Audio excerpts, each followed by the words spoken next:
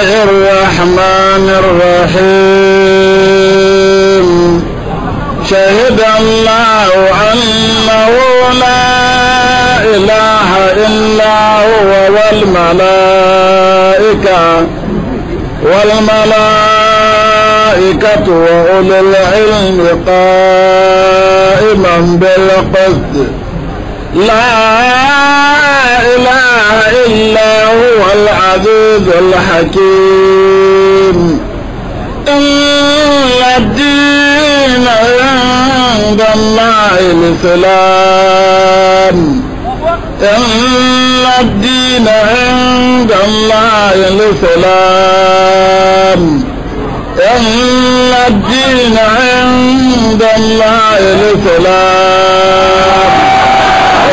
اختلف الذين أوتوا الكتاب إلا من بعد ما جاءهم العلم بغيا بينهم ومن يكفر بآيات الله فإن الله سريع الحساب.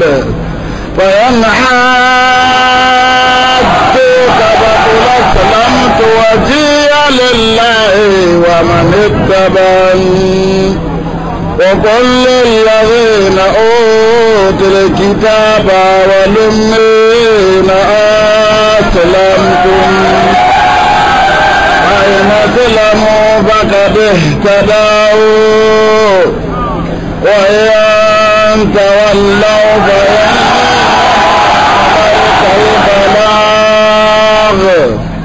والله بصير بالعباد.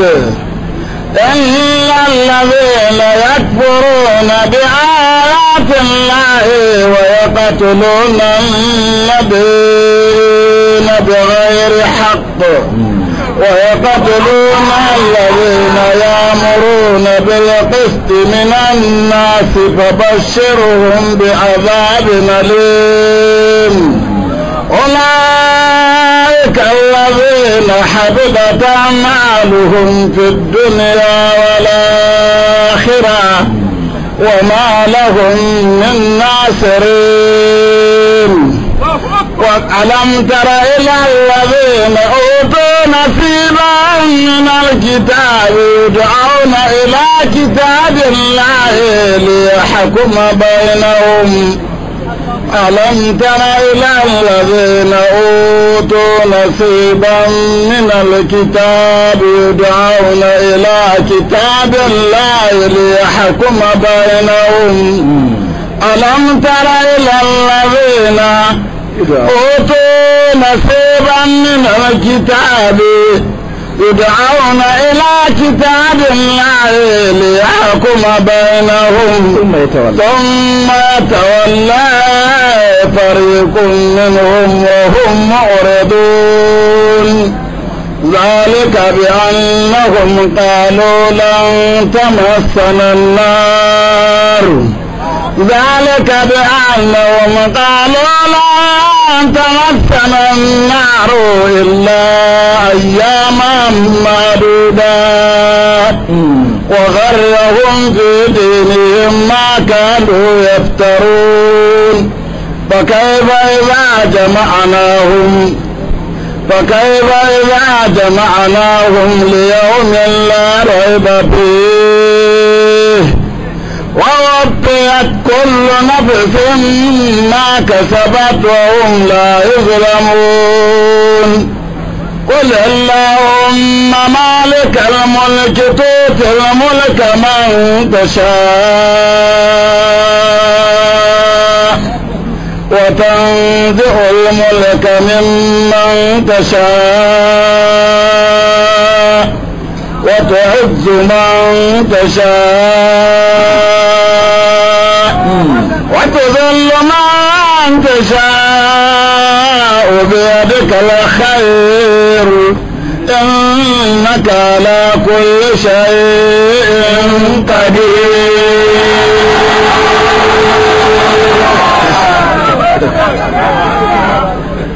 أعوذ بالله من الشيطان الرجيم. بسم الله الرحمن الرحيم. الحمد لله الذي تدكدكت لعظمته الجبال الراسية. العالم فلا تتحرك ذرة إلا بإذنه. ولا يخفى عليه في الكون خافية. البصير الذي يبصر دبيب نملة سوداء في ليلة ظلماء وهي ماشية. الحمد لله رب القوة والجبروت الذي يجير ولا يجار عليه فعال لما يريد. الحمد لله الهادي إلى سبيل الرشاد. العالم بما ظهر وبطن من أحوال العباد. جائل العلماء واثبة في بيان الأحكام. فارقين بما علمهم بين الحلال والحرام. فالرابح من فاز بمتابعتهم والخاسر من حاد عن مصاحبتهم. وصلاته وسلامه على حبيبه المصطفى الكريم. سيدنا ونبينا وحبيب قلوبنا ومولانا محمد صلى الله عليه وسلم. الداعي إلى دار السلام. المبشر بما فيها من التفضيل والإكرام. نحمده تعالى الذي خصنا بخير كتاب أنزل وأكرمنا بخير نبي أرسل وجعلنا خير أمة أخرجت للناس الذين يأمرون بالمعروف وينهون عن المنكر. من يطع الله ورسوله فقد فاز فوزا عظيما. ومن يعص الله ورسوله فقد ضل ضلالا مبينا. أما بعد فيا حماة الإسلام وحراس العقيدة. إخواني في الله وأخواتي في الإسلام أحييكم بالتهية الإسلامية الكريمة الفاضلة. تهية من عند الله مباركة طيبة. السلام عليكم ورحمة الله وبركاته. Ina mai farawa da jaddada godiya ga Allah madaukakin sarki wanda cikin rahamarsa da tausayinsa da amincewarsa ya hada fuskokinmu a wannan farfajiya. A cikin wannan gari na sumaila sumaila local government a kuma wannan makekiyar jiha ta kano. Bahaushe sai ta dabuce gari jalla babbar hausa yaro ta kasa doko da mai ka zo an fika. Kamar yadda na saba faɗa wannan magana gaskiya ce. Idan ka zo da sunna kano akwai professional ahli sunna da za su koya maka sunna. Idan ka kinkimo bidiya da shirka akwai gingima gingiman yan bidiya da dima diman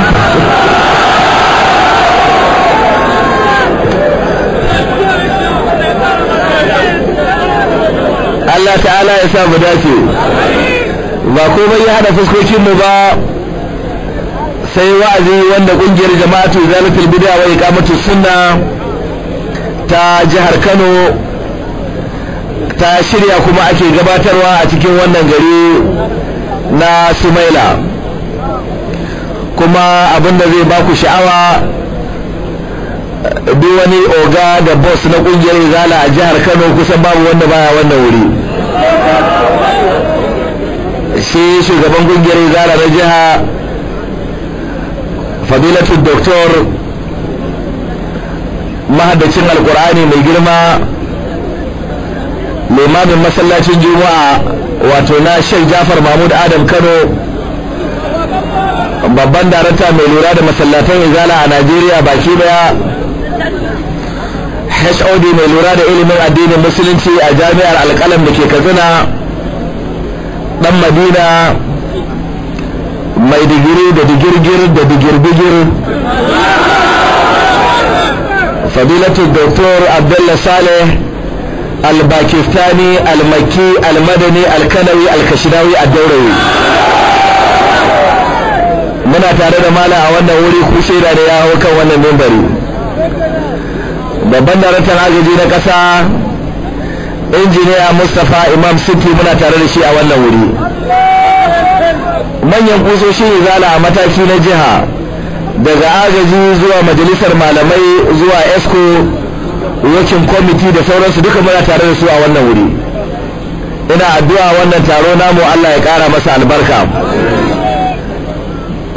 Shugaban ƙungiyar jama'atu zalfi bid'a wa iqamatu sunna na tarayyar Najeriya fadilatul imam Sheikh Abdullahi Balalo ko jiya sai da muka magana da shi a waya nake ba shi labarin idan Allah ya amince za mu shigo cikin garin Sumaila.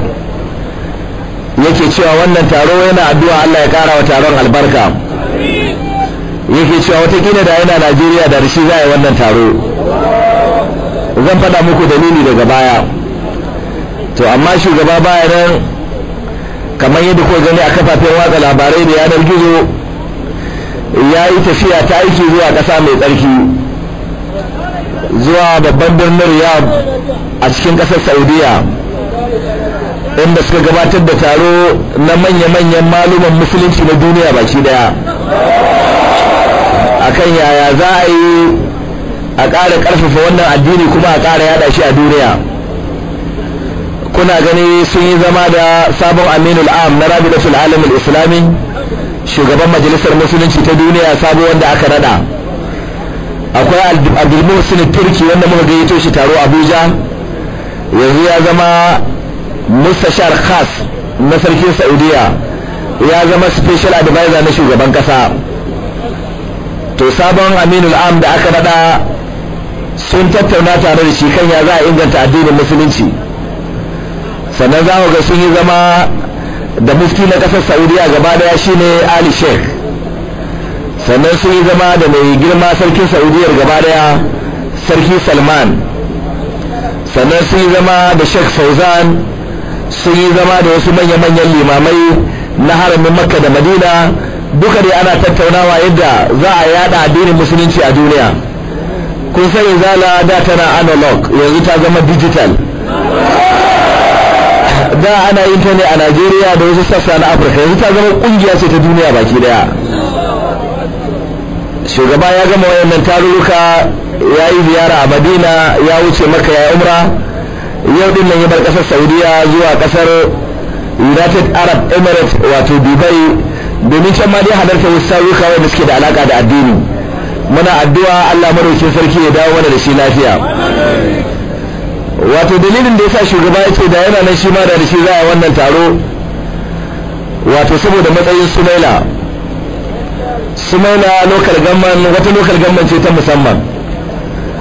Local government ce ta musamman a addinance local government ce ta musamman a siyasance. Idan na ce a addinance wato izala a sumaila local government ta samu gindin gabatun da dadewa. Kamar yadda mai girma honorable kawo sumaila ya ambata.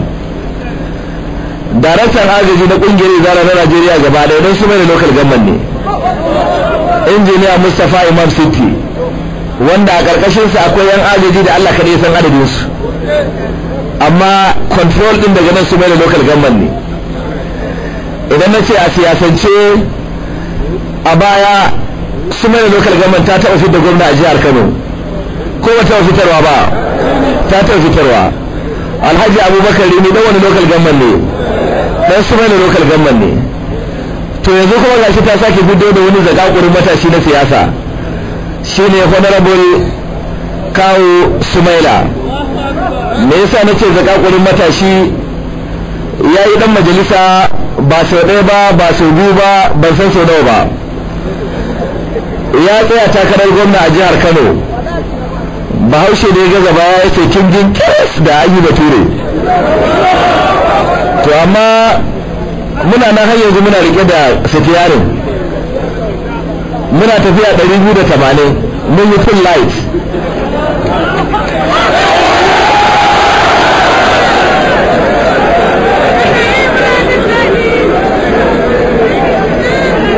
Bahaushe sai kukan kurciya.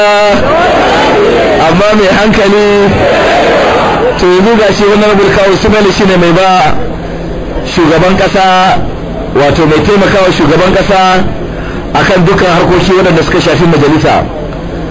Kuma yana cikin waɗanda appointment ɗin su bayan najeriya sha'awa. Domin an miƙa aiki zuwa ga wanda aka yi da ƙwararre ne a wannan aikin. Kuma wani abin ban sha'awa duk wanda ya san honorable kawo sumaila a tarihin shi ya san yana kewayawa ne tare da sunna duk inda ta kewaya. Shi wakili ne na islam wakili ne na sunnar manzon Allah sallallahu alaihi wasallam a cikin siyasa. Shi yasa duk inda aka ce za a yi harkar addini duk inda aka ce ga harka ta sunna ta taso to so na burka su mai su ne amara ƙirjin biki. Abinda muke addu'a ya banya Allah ya fidda ke fari ba mu san me Allah madaukin sarki ya tsara wannan bawan Allah ba. Wa'azin ƙasa da ƙasa da muka yi a nan garin Kano wanda ake hasashen mutanen da suka shigo Kano sun tinkari wajen mutum miliyan da ya ko sama da haka. Ya burka Sumaila Allah yana gani. Yana daga cikin waɗanda suka ba da gudunmuwa wannan wa'azi ya nasara. Afirka gaba ɗaya ta shigo kano ta koma da farin ciki. Kowa yana cikin murna saboda an nuna masa al'ada irin ta mutanen kano. Ta karɓan baƙi da mutunta su da girmama su da karrama su. Allah ta'ala ya sa mu dace. To wannan shine dalilin da yasa nace muku shugaba da kansa yake cewa da yana nan da ya halarci wannan taro. Duk wanda ya hawo kan wannan mimbari bai da buƙata a ce wasu ya zo garin izala ko ya zo garin sunna. Idan ka hau wannan mimbari za ka ga abin mamaki. Wallahi ni ne inda nake tsaye gabar da yamma kudu da arewa ba inda nake yi hangen ƙarshen dan adam. Za ka ɗauka ma mutanen ba da ɗaɗɗe da ɗaɗɗe aka haife su ba. Kamar ana turo goma ne a turo sha biyu.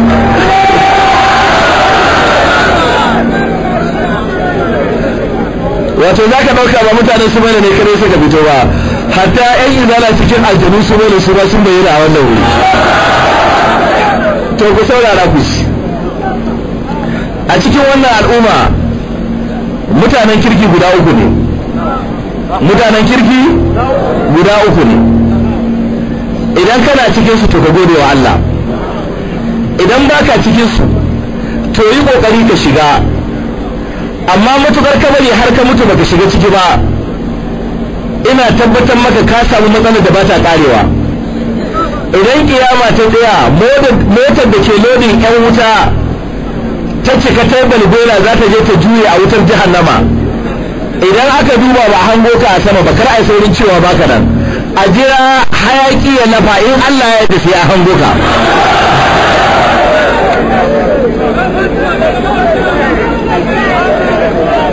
Wannan magana ba magana ta bace magana ce ta Allah madaukin sarki wadda manya-manyan malaman musulunci ko suka tabbatar da haka take. A wannan al'umma yan aljanna rukuni ne guda uku in baka cikin su baka ciki. A wannan al'umma musulmai mutum uku ne in baka cikin su baka ciki. A wannan al'umma mutanen kirki guda uku ne in baka ciki kana cikin yan banza. In dai baka cikin su to kana cikin tambadaddu in baka cikin su ya Allah muna roƙonka ka sa muna cikin su wasu ne waɗannan mutane guda uku Qur'ani mai girma sai lissafo su gaba ɗaya sai Allah madaukin sarki ya fara da rukuni na farko sai ya ce lil fuqara al muhajirin alladhina ukhriju min diyarihim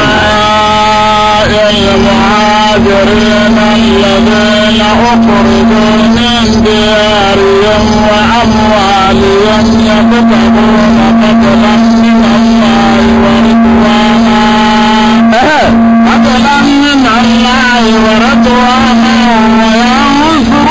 الله رسولا أولئك هم الصادقون. سيكشي نبي والذين تبوأوا دارا تبوأوا الدار والإيمان.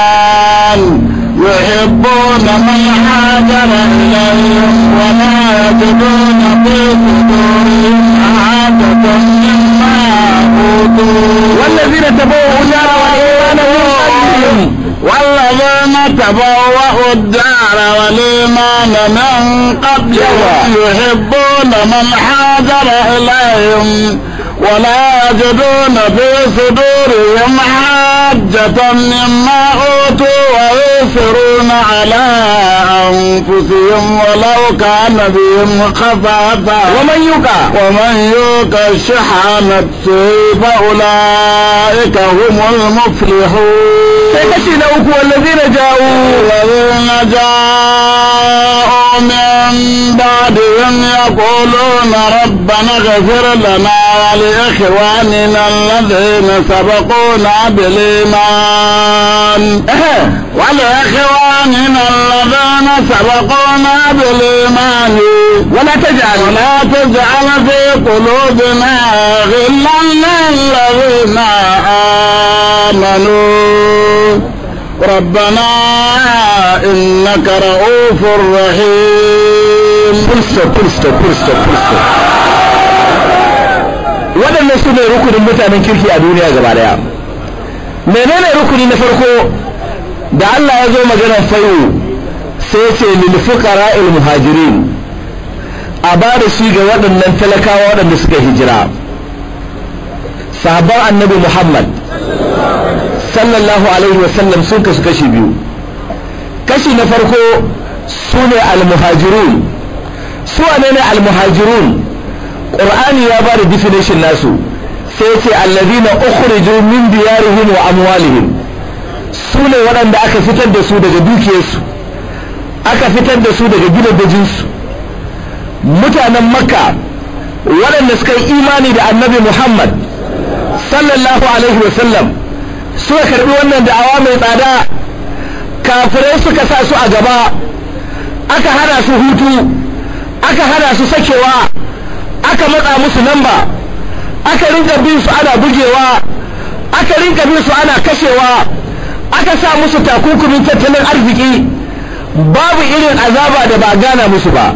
Daga ƙarshe Allah da kansa ya ce na ba ku izini ku hijira ku bar wannan gari ku koma Madina. Wayannan bayin Allah haka suka taso daga Makka.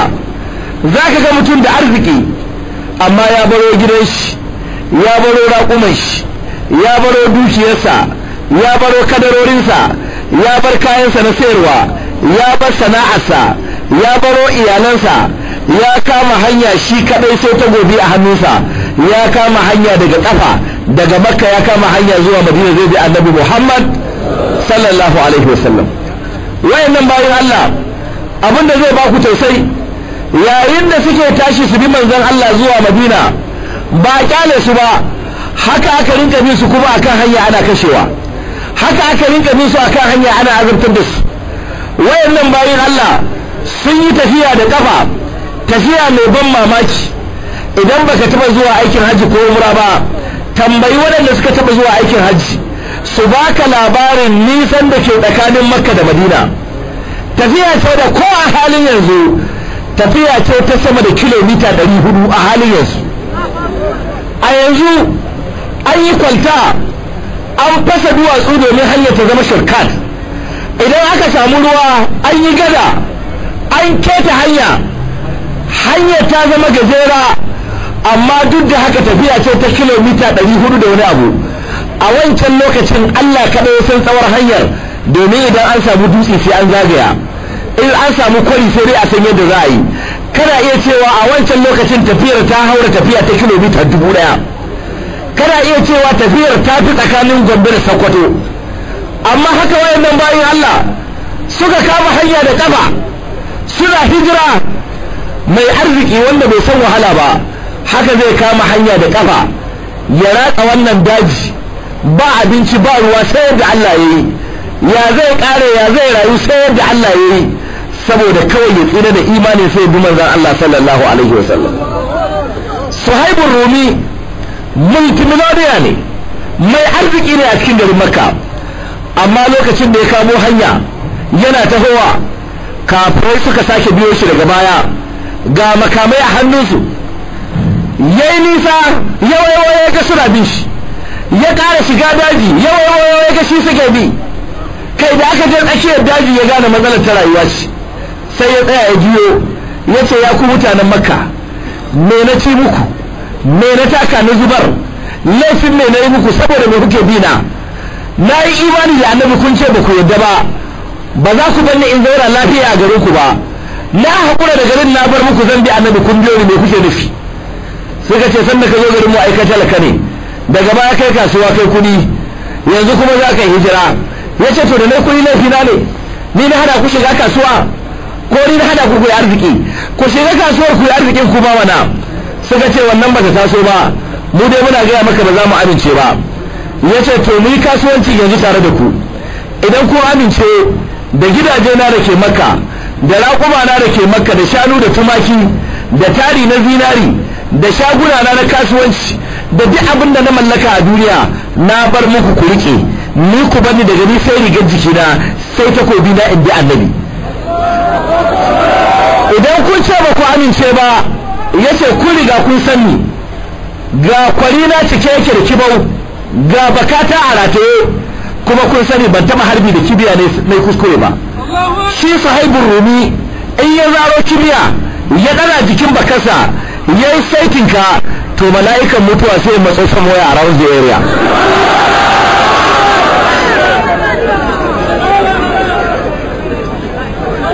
Ya ce to ina tabbatar muku kamin ku kashe ni sai na kashe mutane a cikin ku adadin yawan kidona don babu wacce za ta yi kuskure. Sannan in zara takobi na sanda takobin ya kare kuna iya kashe ni. Suka yi shawara a tsakanin su gane maganar gaskiya ce. Suka ce oho tun da neman mai da kai matsiyaci talaka talik ta yi buga daga wannan lokaci ne suhaibun rumi ya kamo hanya ya zo ya samu manzon Allah sallallahu alaihi wasallam. Ashe kamin ya iso mala'ika jibrilu ya riga shi zuwa har ya ba annabi labari. Yana zuwa sai ga manzon Allah ya tashi ya tarbe shi. Yana rabi albai'u ya suhaib rabi albai'u ya suhaib. Ya kai suhaib cinikin da kuka yi da qurayshawa kai ka ci ba ba asara kai ba. Imanin ka ya fi dukiyar tsada. Tun da ka tsira da imani ka ka tsira da abin da ke da tsada. Allah mun gode maka da ka azurta mu da wannan aqida wannan shi zai nuna muku irin yadda aka rinka azabtar da bayin Allah waɗanda ba su ji ba ba su gani ba. Wallahi har mata sun taka da kafa daga ina?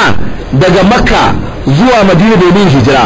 Mace ta taka da kafa ta ratsa wannan daji domin ta bi annabi muhammad sallallahu alaihi wasallam.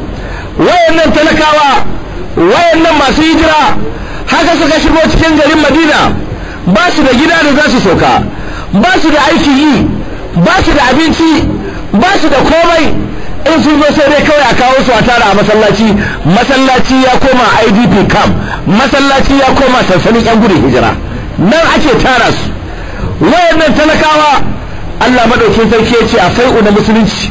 Waɗanda suka fita suka zare suka bar dukiyarsu gaba ɗaya. Su ne rukunin mutanen kirki a duniya na farko.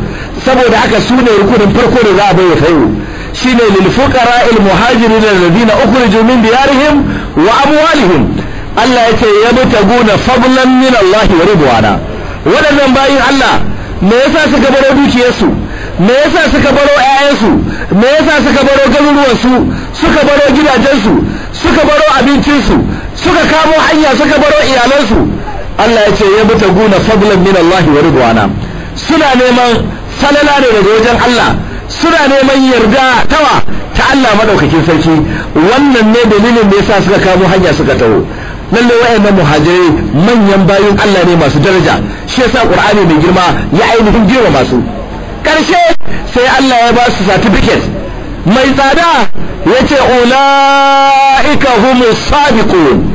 Allah ya ce waɗannan su ne masu gaskiya a cikin imaninsu. Wallahi akwai wanda yana kwance bai da lafiya. Bai da lafiya. Amma da aka zo magana hijira daga ƙarshe ce wallahi shi ma sai ya yi hijira. Aka ce kai da kake kwance baka da lafiya za ka yi hijira? Ya ce ba ina da kuɗi ba da zan iya ɗaukan wa'anda zan biya. In duk kuɗi na zai ƙare zan biya lara a ɗauke ni a yi hijira da ni daga makka kai ni garin musulunci zuwa madina. Haka ya biya aka ɗauko shi ana tafiya cikin daji. Kamin a isa madina Allah ya turo mala'ikan mutuwa yi operation ya zara ran shi. Sahabbai hankalin su ya tashi. Suka ce wannan bai samu ladan hijira ba saboda ya mutu. Yana kan hanya. Allah ya saukar da aya da zafi zafinta. Wa ya gaya muku bai samu ladan hijira ba? Wa ya gaya musu ladan hijira bai cika ba? Allah ya ce wa man yakhruju min baitihi muhajiran ila Allah wa rasulihi هاجر من الله ورسوله ثم يدركه الموت فقد وقع أجره على النار Allah ya ce wa man yakhruj min baitihi duk wanda ya fita daga cikin gidansa muhajiran yana mai hijira ila Allah zuwa ga Allah wa rasulihi da manzansa thumma yudriku al-maut sai mutuwa ta riske shi akan hanya Allah ya ce faqad waqa'a ajruhu ala Allah cikakkiyar ladar hijirarsa 100% ta tabbata wajen Allah. Kenan wannan bawan Allah ya samu ladar hijira ko bai samu ladar hijira ba? Wannan bawan Allah kenan shi ma ya samu ladar hijira. Wannan ne dalilin da yasa Allah ya ba su certificate mafi tsada shine ya ce ulaika humus sadiqun. Wa'annan su ne masu imani na gaskiya. Ka sanya mu tare da wayannan masu gaskiya wayanda ka tabbatar da imanin su na gaskiya ne wayanda ka ba su certificate imanin su na gaskiya ne wayanda ka ba su garanti imanin su na gaskiya ne. Ka karɓa ya Allah. Sai Allah ya ce wallazina tabau wa tabawwa'u ad-dara wal imana min qablihim. Akwai sauran sahabbai su ne waɗanda suka riki Madina sannan suka riƙe imani aƙidar musulunci shine addinin su. Mutanen garin madina waɗanda sun ma karɓi musuluncin tun kamin sahabbai su hijira daga makka su dawo ina? Su dawo zuwa madina. Shine wallazina tabawwa udara wal imanu min qablihim. Su ne ansar. Sahabban manzon Allah sallallahu alaihi wasallam wa'anda suke madina. Kun san wani abin da zai baku sha'awa? Bayan an yi bayatul aqaba ta farko an yi ta biyu. Kamin a hijira manzon Allah sallallahu alaihi wasallam sai ya tada wani matashi. Ya ce tashi maza ka je makka madina ka je ka fara isar da addini ka ci gaba da yin wa'azi domin ka zama ka mana shimfiɗar idan za mu hijira mu koma zuwa madina. Wannan matashi abin da zai ba ku mamaki ya kama hanya zuwa madina. Wani matashi ne wannan? Shine mus'abu ibn umayr. Darata na agaji na jihar Kano taso ka tsaya nan. Ku kalli darata darata shekara ka nawa a duniya? Shekara ka talatin da bai ka girme shi. Arba'in da ɗaya. Kai ka girme shi da yawa. Wani ɗan samaniya shekara ka nawa a duniya? Ashirin da shida. Ashirin da shida.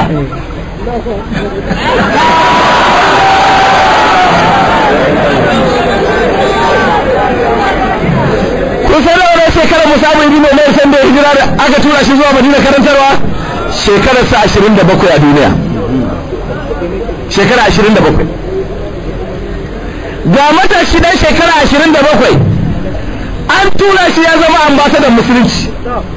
Ambasadan musulunci a ina? A madina. Wakilin manzon allah sallallahu alaihi wasallam a madina. Ahalus sunna ku ce alhamdulillah. Ko ka ce mana yara ni dai za girme mu samu ibnu ko ba mu girme shi ba. To menene? Na zargin mu da su kamar yara ne. Da yi magana sunna kawai sai wani tsoho ya shabi da ya koshi kawai ya fara surutu. Yana yau rani kanana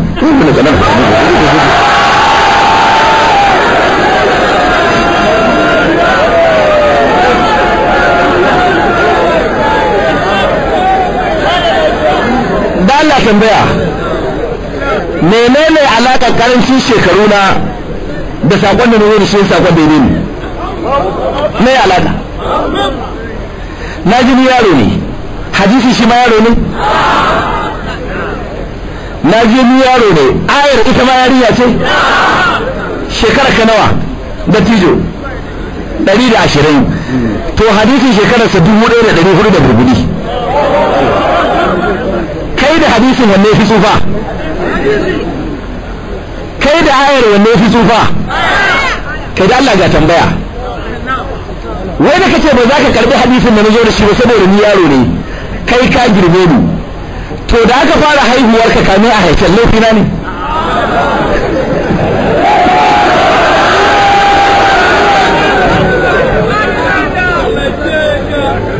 Ba laifina ba ne.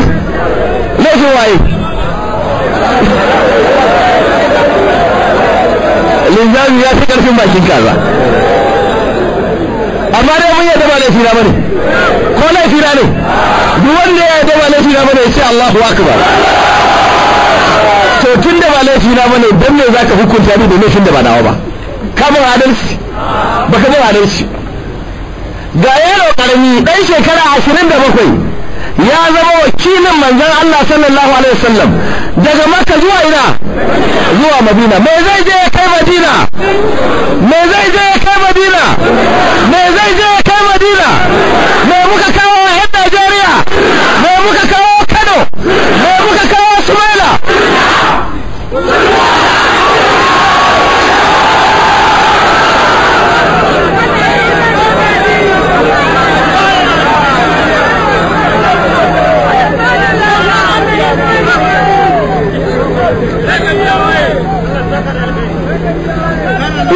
ahlus sunna ku ci gaba da da'awa. Ku ci gaba da karantarwa. Ku ci gaba da karantar da sunna. In Allah yadda waɗanda ba su fahimce ku ba ma za su fahimce ku. Da inda ahlus sunna yake baya ta da fitina. Yawan aka yi fitina kai kana da abin da za ka karanta riba nawa za ka samu? Kasuwa wannan ya kai kayansa ya kasa.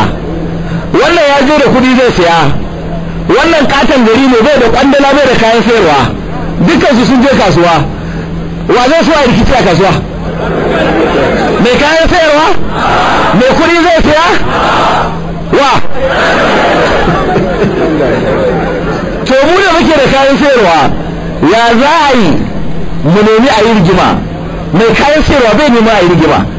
Me yasa bai nema a yi rigima? So yake a natsu a samu zaman lafiya a samu kwanciyar hankali domin hajjarsa ta shiga. Ko muna gode wa Allah magana da wani rubul kawo sai ne ke fara ina hannu na rufin ardu wa man alaiha. Wallahi sunna babu inda ba za ta shiga da ƙarfin Allah.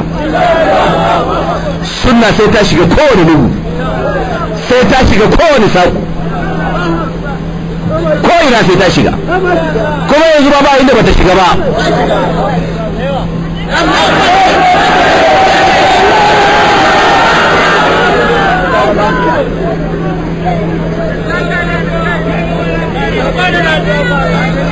Musabu ibn Umar ya shiga garin Madina.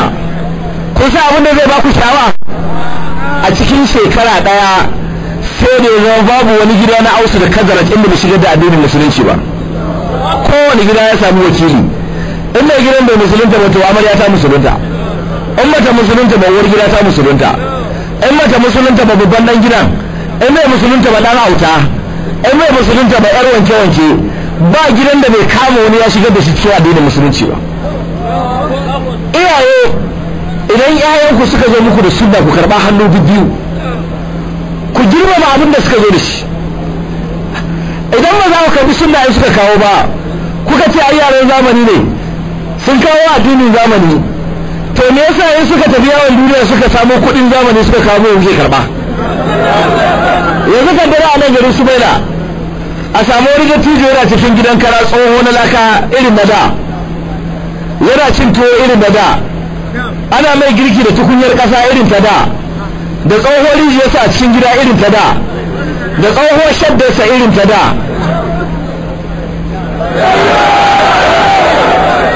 Sai dan sai je Abuja sai Allah ya sa mai albarka sai samo kuɗi. Da ya dawo sai baba rayuwar nan ta da ba ta yi ba. Ya kamata kai rayuwa irin ta zamani. Ya wannan tsohon gida na da a rushe shi a gina na zamani. Yanzu aka gina masa gida block da block. Aka yi mai katon falo ga tiles ga tarazo ga marbles ga chinese carpet ga leather chairs one seater two seater three seater split air condition. Ga katon daki ga gado 6 by 7 royal bed dan dubai ga tunaniyar katifa mai sufurin ga bargo kafi amarya laushi. Ga ga banɗaki irin na zamani ya ɗabi tile. Ga water heater. Ga ga ga.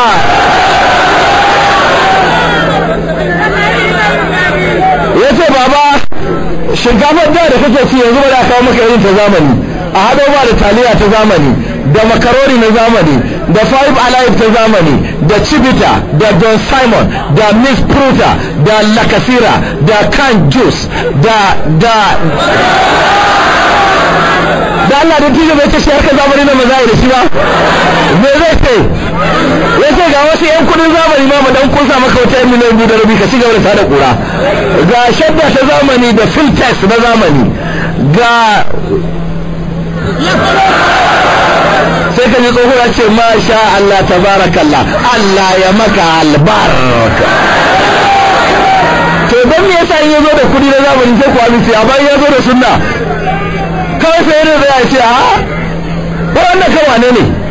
Ba dan ladi ba ne a ce shi ne. Dan gida alhaji na ta'ala a ce ƙwarai da gaske shi ne. Wani ku da aka taba tukunna. Wai ba wai shi ce ta asibi ba? A ce ita ce. To wani yaushe ma aka yi auren ta asibi a nan gaba ma aka yi auren ta. Ba zan manta ba ran da aka ɗauko kayan za a kai. Wata kwalla ɗaya ta mirgido ta fado ni ya taimaka na mika wai shi ne har ta haihoyi wai zo je sai mana. Wai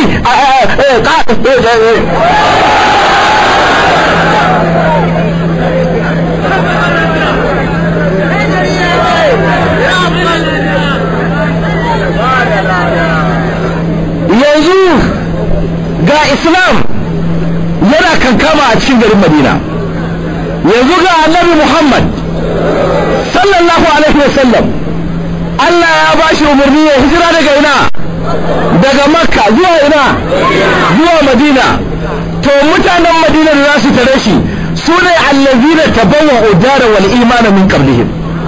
Sun riƙe madina wurin zama sun riƙe imani a matsayin aƙida tun kafin yan gudu hijira su fara zuwa. To yanzu ga masu hijira suna zuwa. Ku saurara ku ji shaida daga Allah. Allah ya ce yuhibbuna man hajara ilaihim. Mutanen Madina sun zama suna so suna tsaron nuna ƙauna ga duk wanda ya hijira zuwa gare su. Ran da manzon Allah ya shiga Madina ya ga ƙaunar da ba dan adam bai taba ganin irin ta a duniya. Manzon Allah sallallahu alaihi wasallam da sayyidina Abubakar ga su sun shigo cikin garin Madina. Mutanen Madina an fito. Manya da yara dattawa da matasa za a tare annabi Muhammad sallallahu alaihi wasallam babban bako special guest of honor. Babban bako na musamman. Bakon da ya kawo haske madina. Daga nan hasken ya haskaka duniya. Manzon Allah sallallahu alaihi wasallam ya shigo. Ga mutanen madina ana ribibi kowa na son shi zai saukar da wannan bako. Kowa na son shi zai saukar da wannan bako mai albarka. Kun san me yake faruwa? Kowa ya zo ya kama. Igiyar taguwar manzon Allah sallallahu alaihi wasallam ya riƙe. Yana ya rasulullah ni zan saukar da kai. Ya rasulullah ni ne mai masaukinka ya rasulullah ni ne mai masaukinka manzon Allah ya kalle su ya burbushi ya ce kallun naqa fa innaha ma'mura. Manzon Allah ya ce ku ƙyale wannan taguwar ku sake ta tana tafiya kan umarnin ubangiji. Inda Allah yake so na sauka a nan ƙofar gidan za ta tsaya da kanta. To daga nan yanzu kowa sai ya koma da gudu ya tsaya ƙofar gidan shi. Ya gina hukuncin Allah. Ga taguwa ta zo wanda ta iso ƙofar gidansa ya daga hannu yana rabbi sallin sallin. Allah ya sa ta gurfana ai taguwa sai ta wuce. Wanda ke can gaba sai ya fara murna da farin ciki. In ta iso yana Allah Allah sai taguwa ta wuce. Taguwa ba ta tsaya ba sai ta zo ƙofar gidan Abu Ayyub al-Ansari. Tana zuwa ƙofar gidan Abu Ayyub al-Ansari a nan gurin ta gurfana. Tana gurfanawa. Abu Ayyub al-Ansari ya danno da gudu. Sirdin taguwar da dan bore-boren kayan manzon Allah da ya sunguma sai cikin gida da gudu. Mutane suka sake zo suka ce ya Rasulullah mu za mu saukar da kai. Manzon Allah ya ce ai ba ko yana tare da kayan shi. Inda kana ya shiga a dole ne zai sauka. Wannan ne dalilin da yasa Abu Ayyub al-Ansari ya zama mai masaukin Annabi Muhammad sallallahu alaihi wasallam. Gidan Abu Ayyub al-Ansari bene da irin na kasa wanda aka yi da tanka ta dabino. Sama nan matarsa take kasa nan iyalansa suke. Ana zuwa Abu Ayyub al-Ansari ya ce ya Rasulullah matata bari ta sauko kasa ni da ita mu dawo nan kai kai zaka sauka a sama. Manzon Allah ya ce a nan dai kasan ya ishe ni. Ya ce ya rasulallah ba zan iya taka rufin daki ba alhali kai kana ƙarƙashin rufin. Annabi ya ce ai ba kai da zaka taka ba kai rufin daki ka ci. Me alaka rufin daki da ni ne yake harkoki da nan kasa ya buga ya buga manzon Allah ya ce masa yi haƙuri ya koma ranar Abu Ayyub al-Ansari bai bacci har gari ya waye. Bai iya yin bacci annabi yana kasa yana bacci. Wajen zagaye zagaye tura tuluruwa gashi rufin yana yoyo. Kenan ruwa yana iya digawa kanwa kan wannan babban bako ana tsananin sanyi sai wanda ya je madina ana sanyi zai san me ake ce sanyin madina. Bargon da yake rufuwa tare da matar tasa shi ya ɗauko ya rinka tsantsa da ruwa da shi. Ranar sai dai sanyi ya san yadda zai da su amma ruwa ba zai dake kan annabi ba. Annabi Muhammad sallallahu alaihi wasallam. Gari na wayewa ba za Allah ya ce a saba mana filin da za mu gina masallaci. Yanzu ba magana gidan shi yake ba magana masallaci yake. Aka samu wani fili filin ya dace annabi ya tambaya filin nawa ya aka ce wasu marayu ne? Annabi ya ce a kira su. Suka zo. Annabi ya ce ina so ku saida min wannan filin in gina masallaci. Marayu suka ce ya rasu mun baka shi kyauta. Manzon Allah ya ce ba kyauta muke so ba ciniki muke so a yi. A biya na kadan kasadan ba ta kadan ba. Kuma haka aka ciniki manzon Allah sallallahu alaihi wasallam ya biya filin domin a gina masallaci. Abin da zai ba ku sha'awa mutanen wannan gari ga baki suna shigowa ga baki suna gangarowa. Allah ya ce yuhibbuna man hajara ilaihim. Suna son wanda ya hijira zuwa gare su. Sai ka ga alakar muhajirun da ansar nan za ga soyayya ta gaskiya. Ya ku bayin Allah ku ji tsoron Allah ku dawo da soyayya tsakaninku. Ku dawo da yawantaka tsakaninku. Ku dawo da ƙauna tsakaninku. Yana da hadari a samu musulmi ke cin mutuncin musulmi. Yana da hadari a samu musulmi ke wa musulmi kamar angulu. Yana da hadari a samu musulmi ke wa musulmi kutun wila. Yanzu in ka tambayi musulmi ne matsala ka sai sai baka musulmi dan shi ne matsalar shi. Haka ne ko ba haka ba ne in an cuce ka a kasuwa waye cuce ka? Idan an danna fa'in ɗinka aikin gwamnati waye danne? Idan an ma kafar an guru waye yi? Sai ka samu musulmai su ne matsalar tsakanin kansu da kansu. Ku tsaya ku ji rayuwa ta soyayya rayuwa ta ƙauna na mutanen madina. Manzon Allah sallallahu alaihi wasallam sai ya ɗauki mutumin makka guda ɗaya sai ya hada shi da mutumin madina guda ɗaya ya ce wannan ɗan uwanka ne na ƙulla yan uwantaka tsakanin ku ɗauki ku tafi da shi gida. Wannan mutumi haka zai nuna ya ce dan uwana na musulunci zai mu tafi gida. Tunda annabi ya hada ni da kai da yau ka fi kanina da aka haife mu ciki ɗaya uwan mu ɗaya uban mu ɗaya da shi. Saboda nuna ƙauna Abdulrahman ibn Auf yana ba da labari ya ce manzon Allah sallallahu alaihi wasallam ya hada ni kawance da Sa'ad ibn Rabi'a ya ce wannan shine dan uwan ka ɗauke shi ka tafi da shi. Ya ce ya ruwa kama hannuna da murna. Ya ce zo mu tafi gida. Ya ce ya ɗauke ni ya kai ni gidan shi. Yana zuwa sai ya tsaga gidan biyu. Ya ce zaɓi gefen da kake so. Ta dama kake so ko ta hagu? Sai mu sa katanga na baka rabi fi sabilillah. Zo mu je gona. Ina cikin masu arzikin dabino a madina. Ya je manya manyan gonakinsa na dabino. Ya raba biyu. Ya ce ɗauki rabi ka mai rabi ya ishe ni. Ya ce ni dan kasuwa ne ina da jari. Adadin jari na ya kai dirhami kaza za mu raba biyu daidai kai ka ɗauki rabi zan ɗauki rabi domin kai ɗan ne na addini. Ya ce ya kai ɗan uwana ina da mata guda biyu kyawawa bari su kwalliya su fito zaɓi wacce kake so in sake ta in ta gama idda kai ka aure ta matsayin ɗan uwana na addini. Kun taɓa jin irin wannan soyayya? Kun taɓa ganin irin wannan ƙauna? Da Allah bari tambaye ku idan haka musulmai muke rayuwa akwai mai iya karya mu? Ahli sunna in wannan ita ce rayuwar mu akwai mai iya karya mu? Babu mai iya karya mu. Ya ku ahli sunna ya ku ahli sunna duk wanda ya zo zai cusa gaba da kiyayya tsakanin ku kada ku ba shi ƙofa. Duk wanda ya zo zai raba kanku zai hana ku rikici ya sa ku fada da juna ya hana ku sallama wa juna ya hana ku tare tafiya da juna? Ko ya ce muku shi ahlus sunna ne ƙarya yake ya fake da guzuma ne ya harbi ya harbi karsana ku ba shi dismiss later abin da addinin musulunci ya karanta shi ne soyayya. Inda har da kai assalamu alaikum wa rahmatullah. Assalamu alaikum wa rahmatullah. Assalamu alaikum wa rahmatullah. Wannan shine ƙauna da soyayya irin na addinin musulunci. Wannan shine abin da islam ya karantar. Kuma ƙaunar taku da soyayya taku kuma ta zama ƙarƙashin biyayya ga Allah madaukakin sarki da sunna ta annabi Muhammad sallallahu alaihi wasallam. Duk wanda ya ce bi annabi kar ku bi shi. Duk wanda ya ce bi manzon Allah. To ba za a bi manzon Allah ba kai a bi ka. Kai waye? You are just a zero behind a decimal point. Da an ce ga hadisi ingantacce daga manzon Allah an gama. Hadisi ingantacce a buhari an gama. Hadisi ingantacce a muslim an gama. Dama da aka ce a hannun sunna wannan shine sunnar. Ana nufin mai riƙe sunna? Gam gam kam kam kam kam ko sunna ko kabar katako. Allah ya ce yuhibbuna man hajara ilayhi. Ga mutum yana raba gidansa yana raba gonarsa yana raba kaza yana ba dan uwansa da musulunci. Kusa abin da zai ba ku mamaki?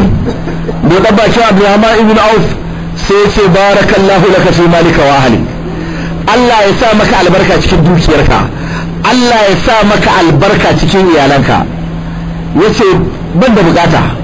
Nuna mun hanyar kasuwa in je in nema a falalar ubangiji duk abin da ka ban nan ban su. Kaji shi kuma? Da Allah cikin wani ce ka zaba ba za ka zaba a ciki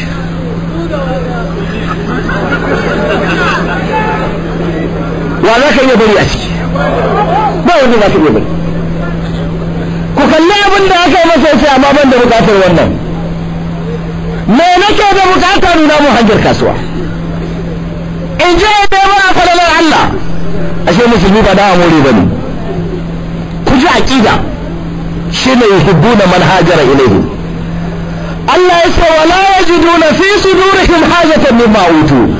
Abin da zai ba ku mamaki da aka zo sai'u manzon Allah ya raba shi ga muhajirun mutanen Makka. Ba ba kowa cikin ansar ba a wata ruwayar banda mutane kwara uku duka sai'u an raba shi zuwa ga ansar zuwa ga muhajirun mutanen Makka.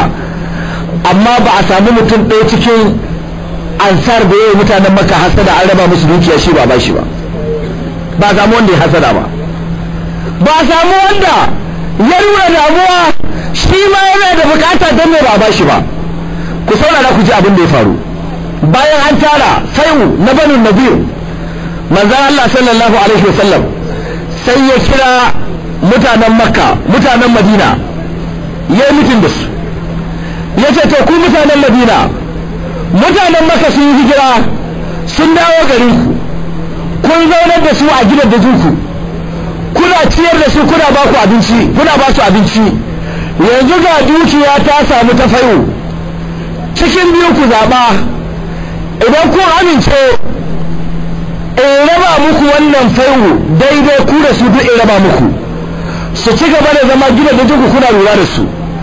Ko kuma in raba musu wannan fayo kowa cikin su ya je ya nemi muhalli ya nemi aiki yi su bar muku gidan da ku su koma ku ko ku samu damar ci gaba da gudanar da rayuwarku. Ya ce ku zaɓi wanda ya fi muku sauƙi a ci nan take sa'adu ibn ubada da sa'adu ibn mu'az.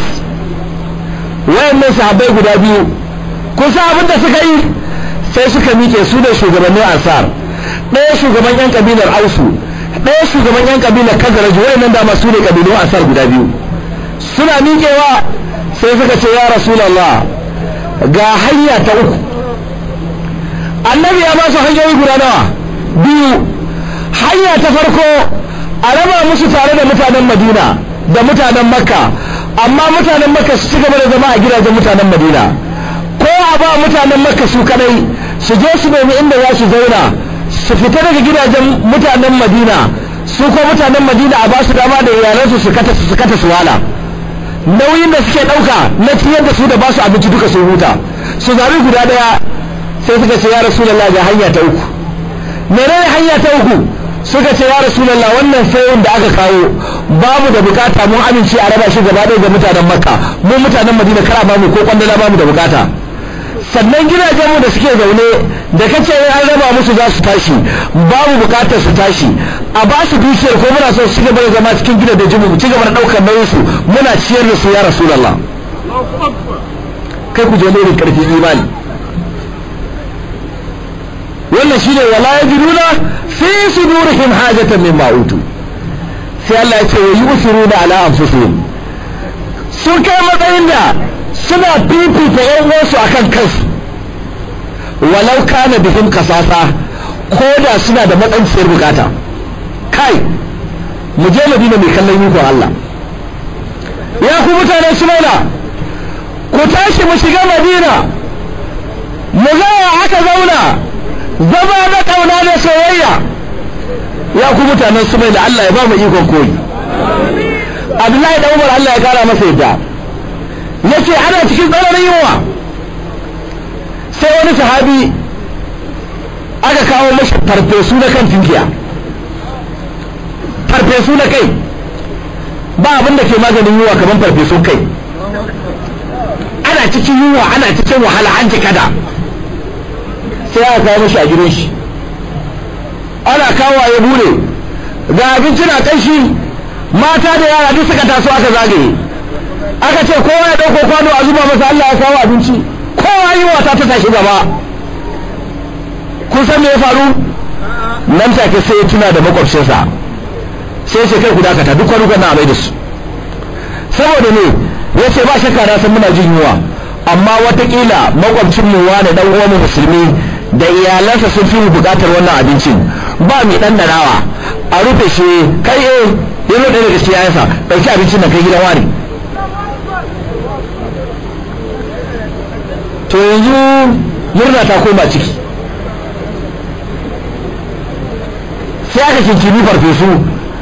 Sai gidan wa? Sai gidan makwabci. Ya buɗe da shi da yaya da mata za a fara hidima shi ma sai tuna dan uwansa musulmi makwabci shi. Ya ce mu ci mu koshi makwabcin muna ji yunwa babu wanda ya sa kai ku rufe. A ɗauka a kai can gidan. In gajarce muku labari farfesun sai da ya zagaye gidaje guda bakwai. Na bakwai da aka yi masa zai fara tabawa shi kuma sai ya tuno da makwabcinsa ashe makwabcin shi ne mutum na farko da aka fara kawo farfesu sai ga abincin ya zagaye gida guda bakwai ya sake komawa gidan wanda ya fara aiko shi. Duka gidajen nan guda takwas babu wanda suka iya cin abinci saboda suna tsoron ɗan uwan su zama bai ci ba. Wace irin ƙauna ce wannan? Da Allah bari ba ku misali. In Allah ya kai mu gobe samu dagwalen kaji ka shirya farfesu ka samu katuwar kula ka dora ciki. Idan ka tashi aikawa kar ka aika gidan mamu aika gidan liman. Idan ka aika gidan liman ko ma gefe ka zauna kaga kular kajin nan za ta fito daga gidan liman ta shige gidan ladan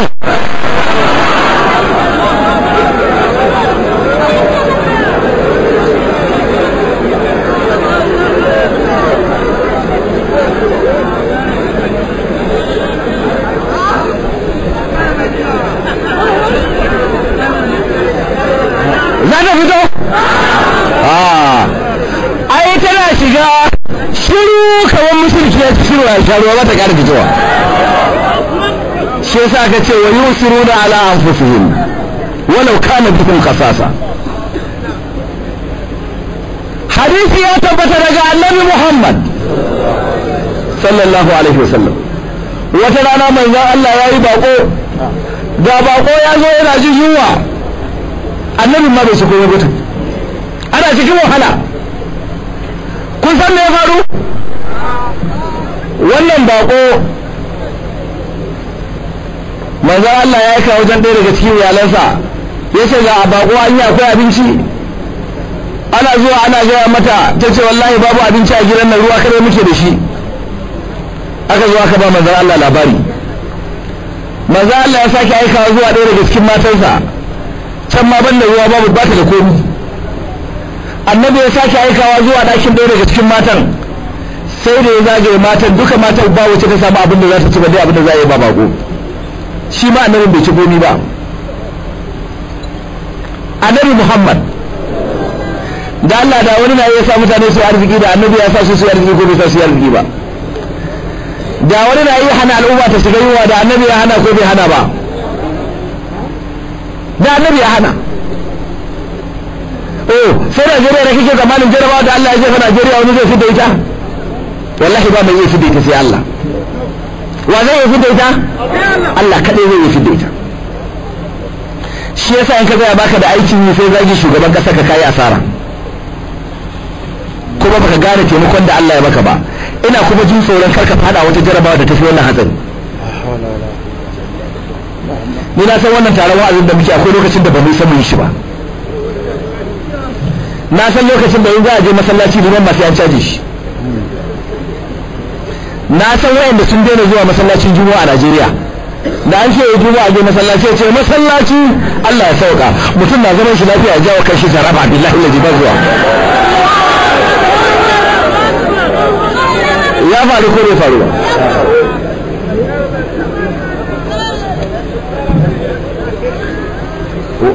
ina tabbatar muku ba don wannan bawan Allah da Allah ya taimake mu da shi ba. Ina tabbatar muku da zuwa yanzu daga Borno har zuwa Kano ba jihar da zaka samu bai jama'a musulmai suna zaune a wuri. Mu dai tuni mun fara neman wurin zama a Nijar. Na san lokacin da a Gombe wallahi na san lokacin da a Gombe. Duk da muka tashi da safe abin da za mu fara tambayawa haka shi. Abin da zai baka takaici mafi yawan wanda ake kashe ma jami'an tsaro da ke kashe su. Jirgi ake zuwa da shi ana yawo kan gidajen mu a gombe. Wai jirgin daga can sama zai iya sakanin wai ya gano akwai bindiga a gidanka. Haka nan kawai sai a zo da jami'an tsaro a ce wannan ango ba a ita ba. A kewaye haka jami'in tsaro zai shiga cikin gidanka yana taka gadonka da takalmi. A wulaƙanta ka a wulaƙanta iyalanka in kai magana a kashe ka an gama. Ba abin da ka isa kai amma wannan jirgin bai iya gano 'yan matan cibok a cikin ciyawa ba.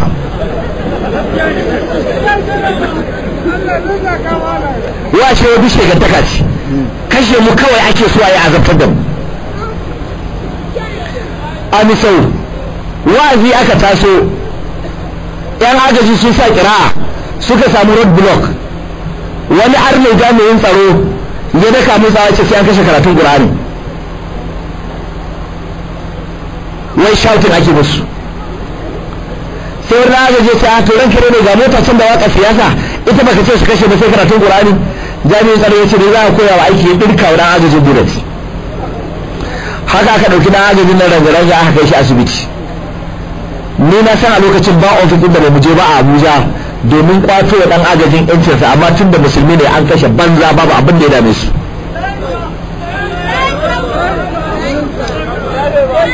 Abin da ba sani ba ya rayu daga baya ko bai rayu daga baya dole da aka ɗirka mashi saboda kira kawai na tafiya kan hanya.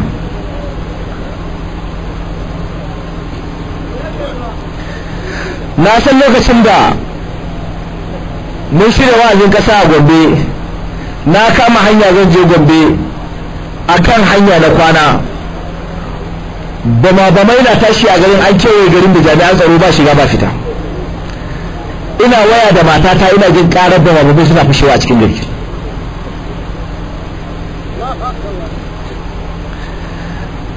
Abubakar mai shinkafa ɗaya daga cikin shugabannin agajinmu na ƙasa da aka yi lugudan wuta a ƙofar gidansa Allah kare san bune da aka tara wa shigari da safe wanda aka kwasa. Tun da ya tashi ya tsallaka ya koma wata anguwa har yau bai dawo ba.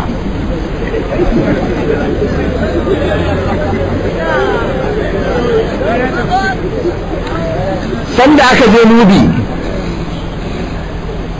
tarwatsa garin gaba ɗaya kai Allah kaɗai san wayan da aka shi wasu a cikin daji kan duwa wasu macizai ne masu kashe su. Akwai abokina yarsa tana aure a wurin da tsohon ciki. Tana dabba za ta haihu yana riƙe da hannunta. Tun ƙarfe shida na safe har ƙarfe shida na yamma ba su yi a zahar ba ba su yi da asar ba. Suna tafiya da kafa a daji. Ya za a tsira da rayuwa? Da aka shiga garin bama duk matashin da ke bama ko ya kudu gudu ko an kashe shi. Haka za a zo da matasa a daure an ci ko mota. Sai an zo gada bakin ruwa a kama kafar a zura kan ta gada a sa bindiga AK47 a harbi kan kan ya tarwatse a sake shi ya fada cikin ruwa. In an gama da su a sake jiro su ba masai da aka kai matsayin da mata ke sallar jana'iza ba namijin da ita limami ya sallar jana'iza ta ma an hira da ita ta sallaci gawa 900 da casa'in a rana ɗaya gawa 990 a rana da ta sallata. Ba ga sai da aka kusa share ta. Kai baka san me ake yi ba. Allah ya zo raba mu da wannan bala'i. Yau za mu tashi da tsakar dare ko da rana ko da maraice ko da safe duk inda muke so a Najeriya mu tinkara hankalin mu kwanci ya kamata mu gode wa Allah ko bai kamata mu gode wa Allah? Kai kalli Najeriya ka san da ba haka take ba. Wannan mai yan malfar wannan mai yan malfar da ya wuce.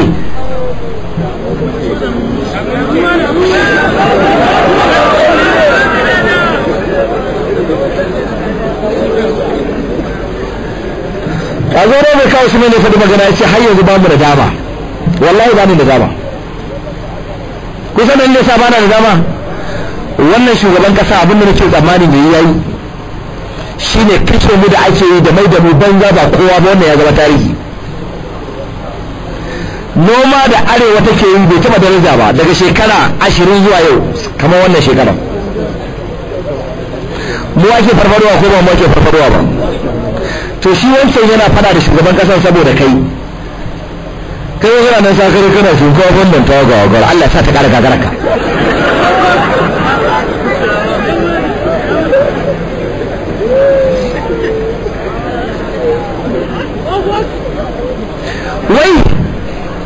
mu yan arewa na rasa yawan tunanin muka namu ne ko aro ake ba mu ba sani ba. Kun san me yasa nake faɗin wannan magana? Ko kalli mai kalmasasshiyar hula. Sai da ya shekara takwas yana mulki a Najeriya.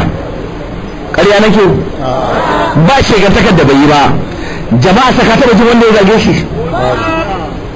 A tarihin Najeriya an taɓa shugaban kasa da titi kamar mai yamal nan kun taɓa jin mutanensa sun zage shi.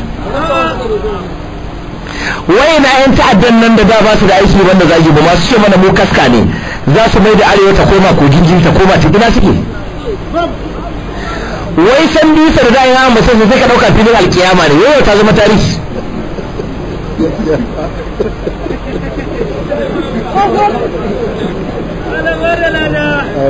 Ina makiyatan Najeriya suke yau da su zama tarihi. Wannan farfaganda da gani ana yi kyamar shugaban kasa masu yin mutane ne guda uku. Mutane na farko 'yan siyasa. 'yan siyasa da ba ruwansu da al'umma su ba ruwansu da addini su duniya su kare suke kallo. Waɗanda in za su samu kuɗi da za a yi farfesu ne za su da bakin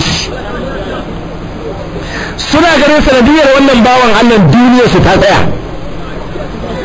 Saboda haka su ne masu ƙoƙari za su ruruta wutar gaba da shugaban kasan a zuciyar mutane. Kashi na biyu su ne 'yan shiya. 'yan shiya. 'yan shiya. Suna nan banda farfaganda a facebook da jaridu da gidan rediyo ba su da aiki.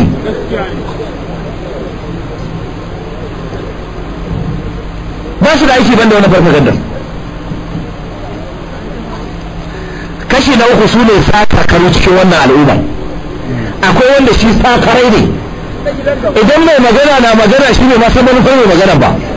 Da an fara magana sai ce yi to babu shakka ya biri ya yi kama da mutum. Dama kai biri ne ba mutum ba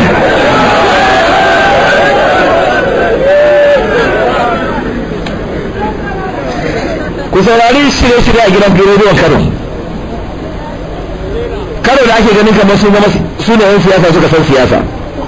Je saurari kowane gauta.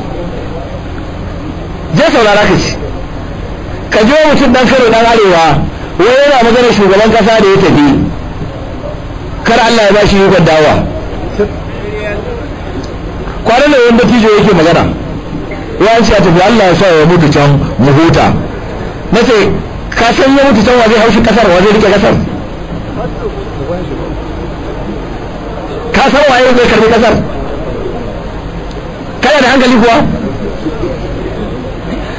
Lokacin da umar musa na bai bai lafiya na je na yi wa'azi a garin daura. Bayan na gama wa'azi sai ne addu'a na ce allah ya ba shugaban kasa lafiya. Sai wani rubuto min takarda tun ina filin wa'azin babban filin wa'azin ba. Ana gafarta malam kai da muke ganin kamar kana son gaskiya kai ne za ka yi addu'a allah ya sa umar musa na ya samu sauƙi kai da muke kamar addini ya dame ka. Sai na karɓi takardar sai na koma kan mimbari sai na karanta. Ranar mai wa'azi a katsayar nan jikin garin daura. Sai ce to ga wani ya ce bai yi dace mu yi addu'a Allah ya sa shugaban kasa ya samu lafiya ba. Shi a ganin sa Allah ya sa Umar Musa Rado ya mutu.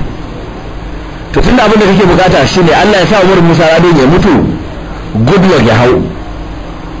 Sai ka ce a na satan ya mutu wa zai hau? Baban ka za a kai ko limamin gari? Wa za a kai? Ku yan arewa ku kuka riga duwa Allah ya sa ya mutu. Allah ya ce to ya sa ya mutu? To bari sa ya mutu. Ya mutu. Wa hau? Daga rana aka fara gasa muku gyada a ka. Kuka shiga bala'in da tun da kuka zo duniya ba ku taɓa ganin mai kama da shi ba.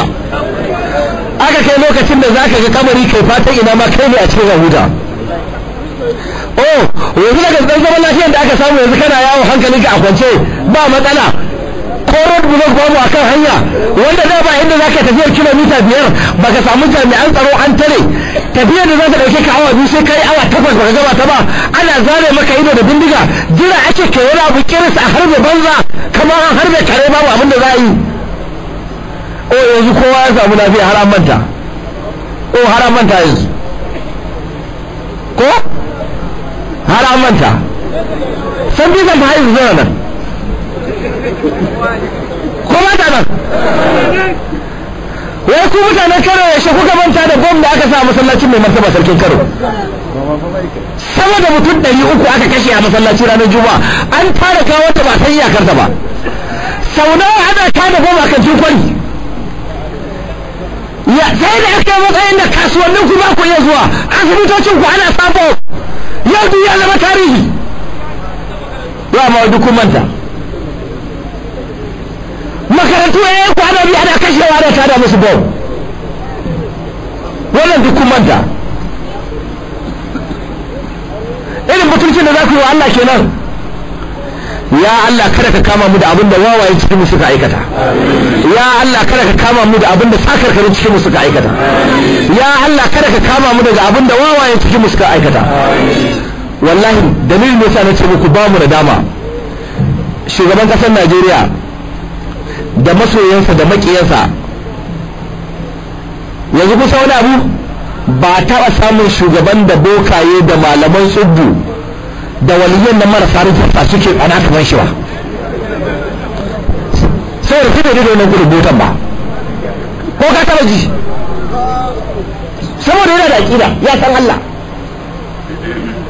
Kasuwar malaman tsubbu da bokaye da yan banza ta rufe a Najeriya. Waɗanda za a ke ɗiban maƙudan kuɗin gwamnati ana suka musu buki ya koma gona shi mai ne tafi gona aka da makalla tafi gona tafi gona tafi gona.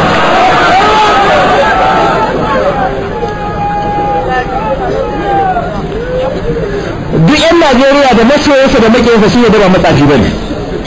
Ko yana tsafi?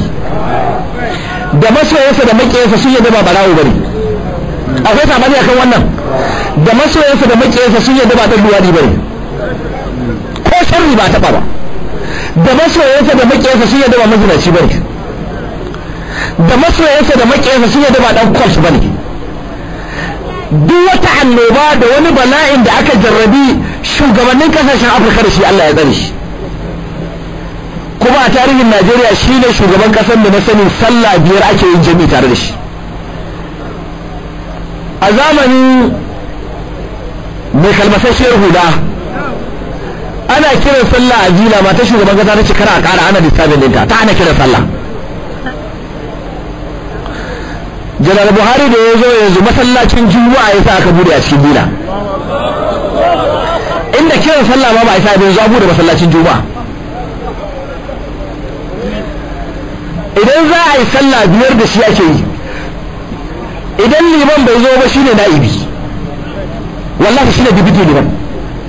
In liman bai zo shi zai wuce ba da sallah.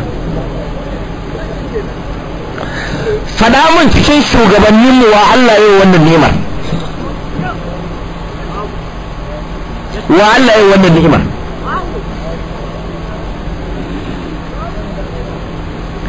Na yi nadama saboda wallahi ban nadama. Ni dai ba na nadama. Kuma ba kwai duk wanda bai nadama tsakanin salala daga hannu ya ce Allahu akbar. To don Allah ku tashi ku rinka masa addu'a. Kuna jin hira da aka da shi yanzu daga london? Hira mai ban tausayi. Zuwa su asuwaju. Likitoci da suka gwada shi. Shi da kansa yake cewa damuwar halin da 'yan najeriya suke ciki na jarabawa da najeriya ta fada shi ne yake nema shi ne musabbabin ciwon da yake fama da shi shi ne abin da yake nema mai da shi. Likitocin da suka duba shi ba su san wani dan adam da ke ɗauke da damuwa a ransa amma allah madaukin sarki ya tsare shi ya tsare lafiya ke tsare zuciyarsa ba kamar shi. Suka ce ya kai a cikin dan adam ya mutuwa saboda wannan. Damuwar dan najeriya kawai. Ya ce mutanen da suka fito suka zaɓe ni suka kira ni babansu suka kira ni mai gaskiya suka ba da jininsu da rayuwarsu domin in shugabance su. Ya zama kuma daidai sanda Allah ya danka mai shugabancin su daidai a lokacin kuma Allah ya jefa Najeriya cikin jarabawa da ma duniya gaba ɗaya ya ce sama da kashi 60 cikin ɗari nasu abin da za su ci ma yana wahalar da su. Ya zan iya yin bacci? Shi ne shugaban ƙasar da zai shugabancin Najeriya an gaga samun mar sabuwar mota. Nan suna tafiya kan hanya mota ta tsaya yana shugaban kasa na kusa da shi ya ce ranka ne mun gaya maka motocin da sun tsufa a kawo sabbin motoci. Abin da ya ce wannan ba za ta gyaru ba. Aka ce to ya za a magana ba za ta gyaru ba amma duk da haka ya ce duk da haka me ranka ne da rinka mota kana tsaya kana shugaban kasa ba za a so sabuwa ba. Yace dan Najeriya na fama da yunwa wani na kwana sansanin gudun yan hijira za a siya mai sabon mota ba zai yi ba.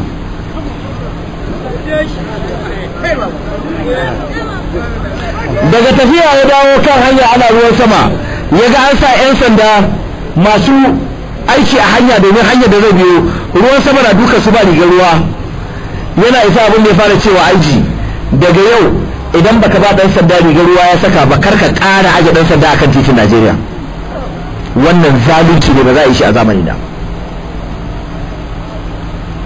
wani na kusa da shi yana gaya mun je yana faɗa a laraban abasawa suna fira. Ana magana kaza kaza kaza kaza. Sai ce ta wannan sai masu arziki. Ni ya za a yi wannan? Sai shi wanda yake cewa zan kare da yanki arziki fa. Yace ya arziki. Yace yi kuɗi fa kake da bai ce ta yaya kuɗi to? Ga mun wace hanya zan iya bi a duniya yi kuɗi ne kuma? Ni ba dan kasuwa ba. Ta ina zan zan yi kuɗi?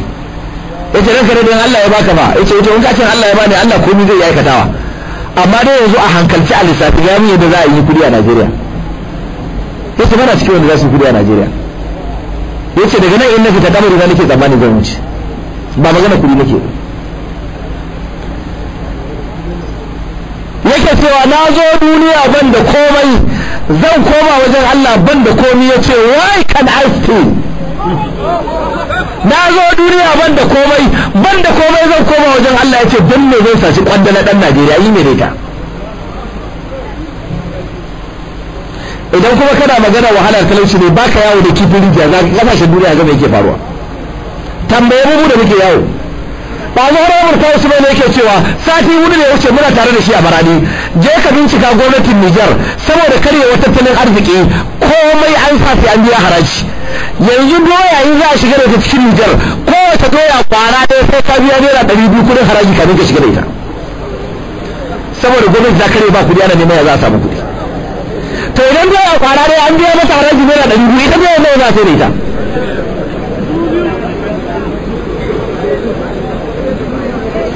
Je ka saudiya duk wayannan manya-manyan gine-gine ake da aikin haram da masaukan duk ya tsaya. Saboda babu kuɗi.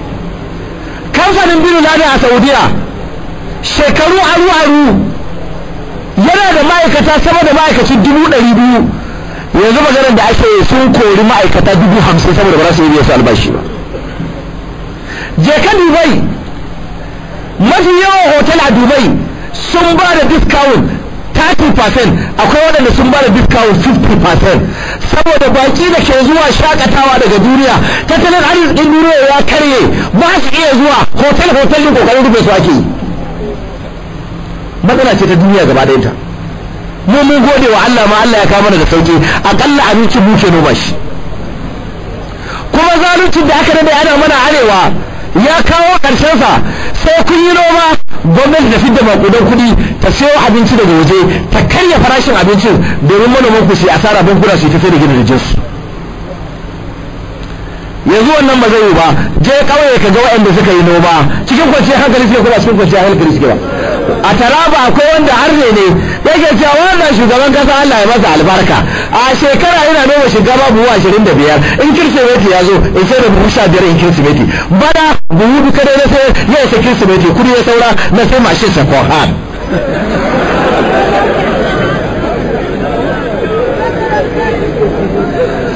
To amma al'umma ba sun saba da zaman banza ba aikin yi. Sai dai ofis ofis ɗin 'yan siyasa bara.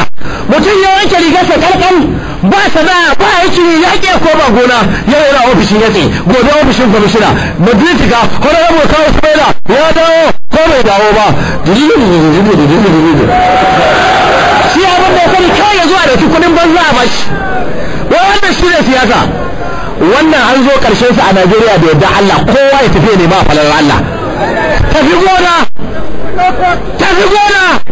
Tafi! Tafi tafi tafi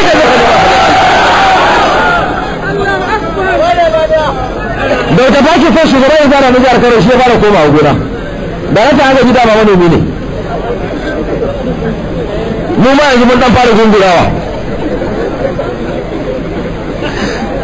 Je ka taraba shugaba gonarsa hekta ɗari biyar.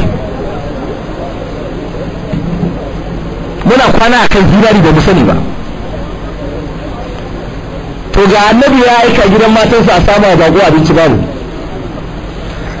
ya za a yi? Manzo Allah ya kalli sahabbai ya ce a cikin ku akwai wanda zai ɗauka mana nauyin wannan bakon ya saukar da shi. Wani sahabi ya kuna baki wake ce a bani tafi da shi gida ya rasulullah. To yanzu ga sahabi ya karbo bakon annabi ya tawo da shi gida. Ya samu matar ce akwai abinci? Ta ce wallahi abincin da ke gidan nan iya wanda za ka ci ne kai maleji da kuma yayan mu kanana su ci. Sai ce su da Allah ki lallashi a su bacci ba za su ci abinci ba haka za su fara shi daga bakon annabi ya zo. Ni ma ba zan ci ba bakon za mu ba abinci ne ci. Ta ce ta yi bakon in baka ce ba zai ci ba ya ce na san dabara da zan masa. In za mu fara cin abinci ki zo ki da ki fitila. Aka lallabi yara su ga bacci da yunwa ba su ci abinci ba. Bako da mai gida suka zauna aka aza abinci ya ce bismillah. Matar ta zo ta ce a bani aran fitila ya ce ba matsala ki ɗauka ta ɗauki fitila ta kama hanya. Yanzu an ba su cikin ne mai gida ce bako bismillah bako na sa hannu a cikin kwano mai gida yana sawa har hannun su yana karwa a cikin kwanon abinci. Amma wallahi mai gidan bai yi ko ɗaya ba. Yana yaudarar bakon ne dan bakon ya ci abincin. Bako ana tari ya ɗauka mai gida na cin abinci? Bako ya rinka shirga loma ya rinka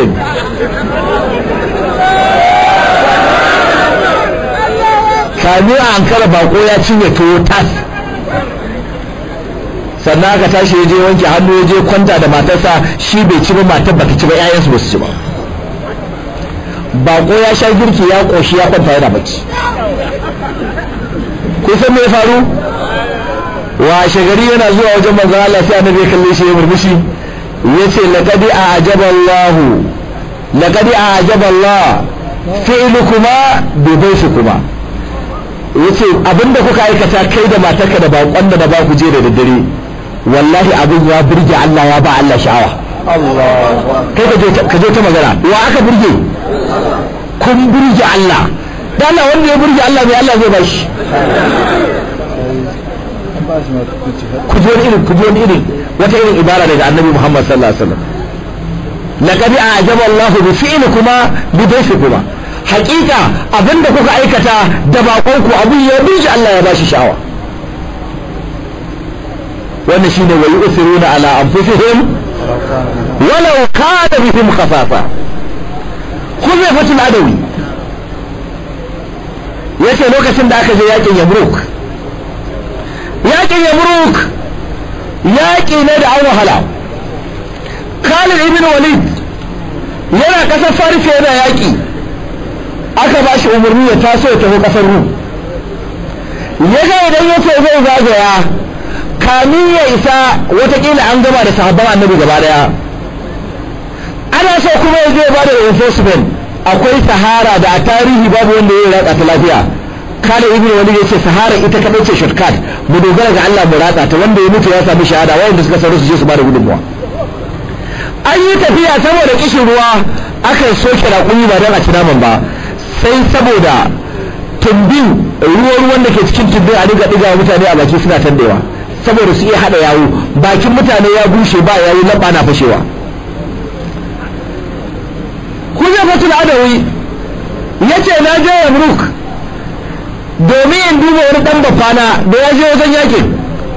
Ya ce sai na je da ruwa ko zan same shi a buƙatar ruwa. Yana cikin wayan da aka yi wannan tafiya ya yana zuwa sai na same shi a kwance. Idan sa a rufe sai da na shafa masa ruwa a fuska sannan ya yi buɗe ido.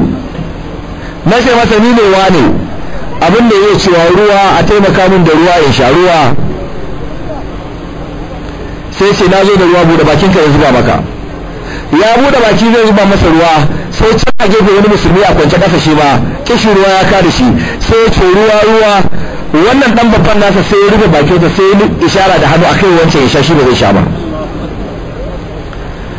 Yace da na je na wuce?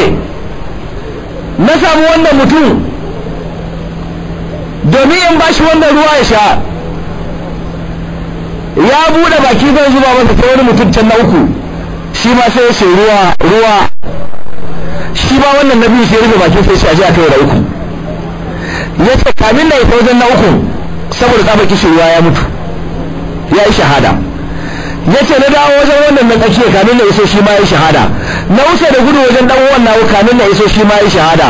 So uku kowa ya yi shahada saboda ba zai shan ruwa ba alhali dan uwansa musulmi na jin kishin ruwa. Wa yusiruna ala anfusihim walau kana bikum khasasa. Kai ku saurara ku ci. Ɗaya daga cikin magabata al'ambaki yake cewa na taɓa samun kaina tare da wasu 'yan uwana ya ce mu talatin da wani abu. Ya ce muna cikin hali na yunwa. Da gara aka samu mana wata 'yan waina ga mu talatin da wani abu wani da mutum biyar ma za su yi cinye ta ba za ta su ba. Sai muka sa aka samu ƙwarya aka kakkarya wannan waina aka zuba a ciki. Sai muka ce a kashe fitila. Da daddare ne aka kashe fitila sai muka ce bismillah a ci. Aka yi ta sa hannu aka yi ta sa hannu. Da aka dawo da fitila sai aka samu wainar tana nan bata ragu ba. Su talatin nan a ce kowa a ransa ya ce to bari ni in haƙura saboda yan uwana musulmi su ci. Sai ya zama duka talatin nan babu wanda ya ci da aka kunna fitila aka samu wainar tana nan yadda take.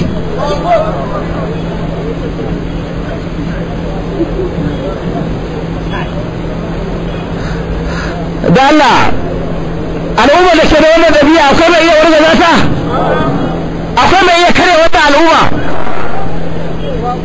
Shi yasa Allah ce wa yu'tuna ala anfusihim walau kana bihim qasasa ko su suna da buƙata za su fifita ƴan uwansu musulmai akan kansu. Sai Allah ya ce wa man yuka shuha nafsihi. Duk wanda aka tsare shi daga rowar kansa Allah ya ce fa ulaika humul muflihun. Wayannan su ne masu samun babban rabo. Wayancan Allah ya ce humus sadiquna wayannan Allah ya ce humul muflihuna wannan su ne rukunin mutanen kirki na duniya su ne al-ansar. Sai rukuni na ƙarshe. Da labarin tambaye ku taron ku na akwai wanda yake cikin muhajirun? Rukuni na farko? Duk ba ciki ko? Akwai wanda ke cikin ansar babu? To sai wannan rukunin na uku in baka ciki ka shiga bala'i. Sai kowa gyara kunne. Mun sha uku ne kawai. Na ɗaya baka ciki na biyu baka ciki. Kenan wanda ya saura? Na uku. In ka ji baka ciki kawai shiga tafiya wuta. Wallahi in baka ciki kiyama na tsayawa. Da Allah ya ce yan wuta ku tafi wuta kar ka bata lokaci tambayi hanyar jahannama kawai ka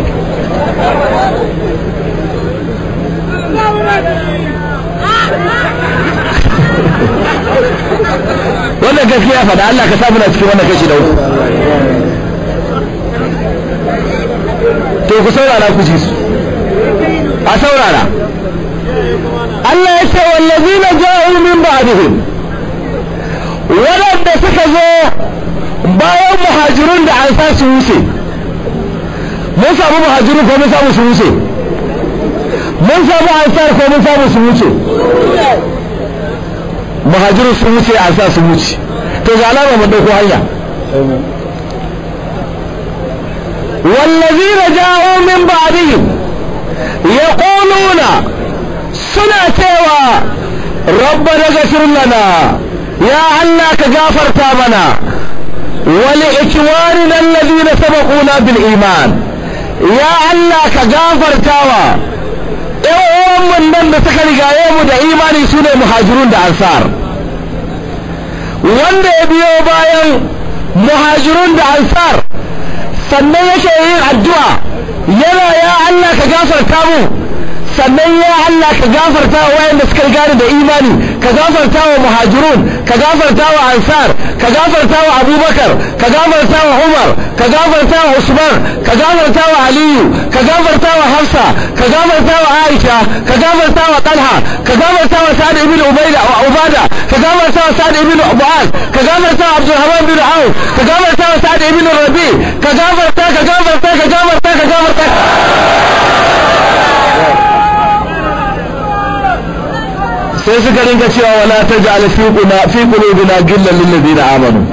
يا الله كذلك سايت زي عشكين زوس يبو فتح بان النبي محمد صلى الله عليه وسلم. وغفر لنا يا الله كغفر تامنا إنك أنت الغفور. إنك أنت والذين جاءوا من بعدهم يقولون ربنا اغفر لنا ولإخواننا الذين سبقونا بالإيمان. ولا تجعل. لا تجعل في قلوبنا غلا للذين آمنوا. ربنا إنك رؤوف رحيم suka ce rabbana ya ubangiji innaka ra'ufur rahim lalle kai mai tausayi ne mai jin kai ne ya kai Allah to rukuni na uku su ne waɗanda suka zo bayan sahabbai amma suna yin sahabbai addu'a ta alkhairi suna yin addu'a ta alkhairi ga muhajirun suna yin addu'a ta alkhairi ga ansar suna nuna soyayya ga sahabban manzon Allah sallallahu alaihi wasallam duk wanda ya biyo baya ya zama cikin masu gaba da muhajirun masu gaba da ansar masu gaba da kiyayya da sahabban manzon Allah sallallahu alaihi wasallam. To wannan ya gama asara da yin da shiga wannan rukunin na uku ba. Amma wanda yake ƙaunar sahabbai yake ƙaunar muhajirun yake ƙaunar ansar yake musu addu'a to shi ne wanda ya shigo cikin wannan rukuni na uku. Da wannan aya shehu malami kurdabi yake cewa wannan ayar dalili ne da yake nuna dole ne in kana musulunci sai ka kaurace sahabban manzan Allah. Ya Allah ka so ka sa mana son sahabban manzan Allah. Son sahabban manzan Allah addini ne alama ce ta imani.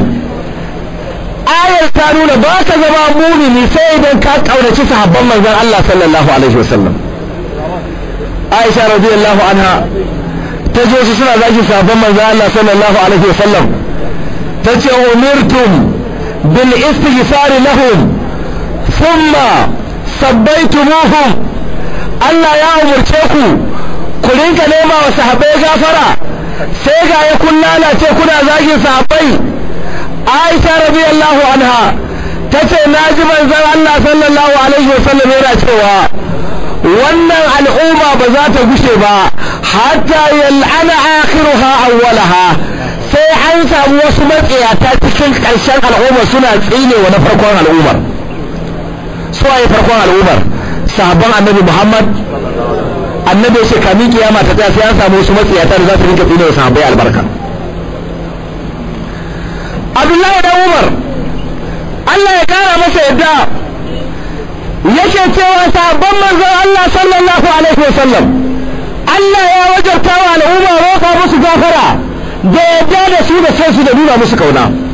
Abdullahi da Abbas Allah ya kara masa yadda.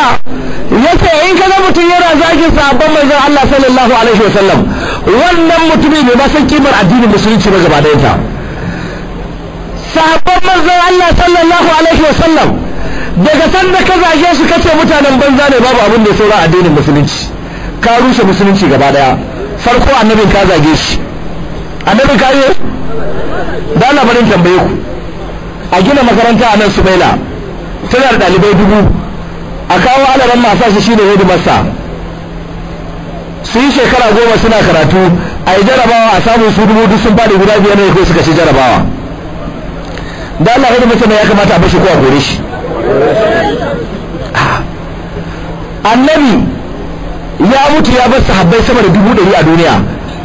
Yan shiya kuka ce duk waɗannan sahabban sun yi ridda guda biyar ne kadai ba su yi ridda ba. Annabi kuma shi ne malami su ne kai masa makarantar. An zagi annabi ko ba zage shi ba? Annabi ka sallame shi daga aiki da ka zagi sahabbai.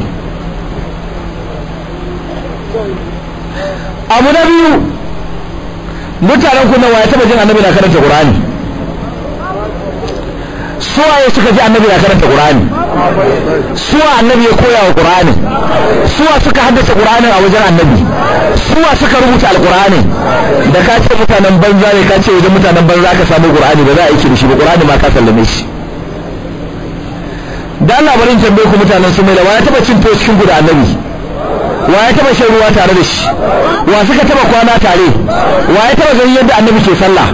Duk suwaye suka ga wannan? Kenan da ka ce mutanen banza ne to duk abin da suka kawo na addini ba za a karɓa ba duk hadisan annabi sun zama kwandon da ka zagi sahabi babu abin da ya saura. Sannan da labarin tambaye ka. Lokacin da aka zo za a yi yaƙin badar manzo Allah sallallahu alaihi wasallam bai ta wasu mangiya yana daidaita sahu. Sai ya zungure ni sahabi a ciki. Sai riƙe cikin sai ya ce a waje aka ni ya rasulullah ya manzo Allah ka ji mun ciwo. Annabi ya kalle ce ya kake so a yi? Ya ce ya rasulullah kai kace a adalci ya ce ƙwarai. Sai ya jefa masa bulala ya ce rama. Ya kalli annabi ya ce ya rasulullah ai kai akwai riga a jikin ka sanda ka da ke ni ko sanda ka riƙe ban da riga. In na rama yanzu kana da riga ya dace bai cika ba. Annabi ya ce gaskiya ka faɗa. Ko kar yayi annabi ya ce riga sai ba da riƙe ba sai ya ce rama. Ko ta me? Sai dan na rubuta sai rubuta cikin manzon Allah yana sumbatan cikin yana goga fata jikinsa a jikin cikin annabi. Manzon Allah ya ce masa me kake haka? Yace ya rasulullah wallahi ba ba ba abin da ya same ni. Ciwon da na ji ba wanda zai ba zan iya daurewa ba ne plan ne ni na zo wannan yaƙin ba da koma gida ba ne shahada nake so in samu. Ina so abu na ƙarshe da zan yi kamin in mutu fata jikina ta gogi fata jikinka. Na sai in na je lahira albarka fata ta ta gogi ta ka Allah ba zai bari in shiga wata jahannama ba. Annabi ya kalle shi masa addu'a Allah ya maka albarka Allah ya maka albarka. Da Allah da ƙarya yake annabi zai ce ƙarya kake ko zai ƙarya yake ba? Kenan yanzu wannan mutum zai shiga wuta? Me yasa ba zai shiga wuta ba? Fatar jikinsa ta goji fatar jikin wa? Dan shi ya baka da hankali. Sau ɗaya fatar jikinsa ta goji fatar annabi? Sau ɗaya. Ai banda ranar akwai ranar ta taba goga? Ranar ne kawai ta taba goga ko? Amma ka ce zai tafi aljanna. To amma kuma sai ka ce aisha matar annabi wuta za ta ci. Hafsa matar annabi wuta za ta ci. Mata annabi halal malak. Amaryarsa da yake ji da yake yar gaban goshi. Wacce za su shiga mayafi ɗaya a kan shimfiɗa ɗaya.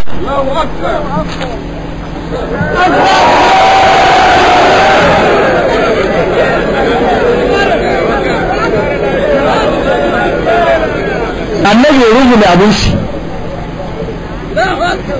ya yi kwanciyar aure da ita. Ya sa mata maniyu sa mai albarka da maniyu annabi a jikin da kuma ta tafi jahannama.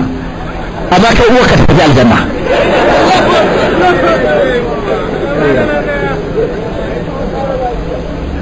You are not serious baka ma san me ake cewa addini ba sahabban manzo Allah sallallahu alaihi wa sallam sahabban annabi imamu salabi yace tafadalat an-nasara wal yahud يجي لما سئلت اليهود. ما الخير أهل ملتكم؟ فقالوا أصحاب موسى. ولما سئلت النصارى ما الخير أهل ملتكم؟ فقالوا أصحاب عيسى. ولما سئلت الرافضة من شر أهل ملتكم؟ فقالوا أصحاب محمد صلى الله عليه وسلم. إمام سعلبي يتى يهود النصارى sun fi yan shi'a a wajen Allah. Yahudu da nasara sun fi yan shi'a suna gaba da yan shi'a. Sun fi yan shi'a mutunci da sani ya kamata. Aka ce me hujjar ka ya ce yahudawa da aka tambaye su a addinin ku suwa suka fi daraja? Sai suka ce sahabban annabi musa. Ko ba ka faɗa ba? Nasara kiristoci da aka tambaye su a addinin ku suwa suka fi daraja bayan annabi isa? Sai suka ce sahabban annabi isa. Yan shiya da aka tambaye su su ne yan banza a cikin addinin ku? Sai suka ce sahabban annabin mu. Da su da yahudu da nasara suwa suka fi mutunci. Sai imamu salabi imamu sa'alibi yake cewa la taqu ya ce fasailu qa'imun alaihim ila yawmil qiyamah la taqumu lahum raya. Wa la tastami lahum al-kalima. Yace wannan ne dalilin da yasa zaka ga cewa duk yan shiya da suke a duniya to takobi yana kansu har zuwa ran tashi alkiyama. Ba ran da za su zauna lafiya. Ba ran da tutar su za ta tsaya. Babu ran da kalmar su za su haɗu. Haka za su ta a bayan ƙasa. Sai sun ga kamar sun taru sun taru sai Allah ya turo musu musiba. Sai sun ga sun yi ƙarfi sun yi sai Allah ya su da bala'i. Haka za su har saboda sun zagi yan gatan Allah sun zagi masoyan Allah sun zagi waliyan Allah. A duniya akwai waliyan Allah kamar sabon annabi. To ga Allah hadisul qudusi yana cewa man adali waliyan faqad azantuhu bil harb. Duk wanda ya gaba da waliyena ya shirya da ni za a yaƙin ba da waliyan ba. Kun yi gaba da waliyan Allah su ne sahabbai da wa za a yaki? Da Allah. Allah shi zai fito da kansa ko bawa zai turo cikin bayinsa?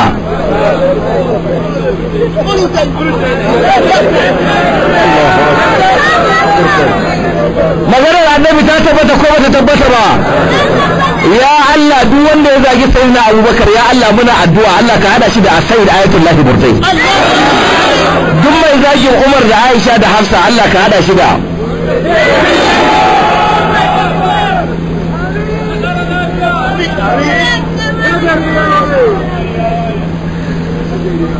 Saboda haka duk mai zagin sabon manzon Allah ya shiga cikin wannan rukunin? Bai shiga cikin wannan rukunin ba.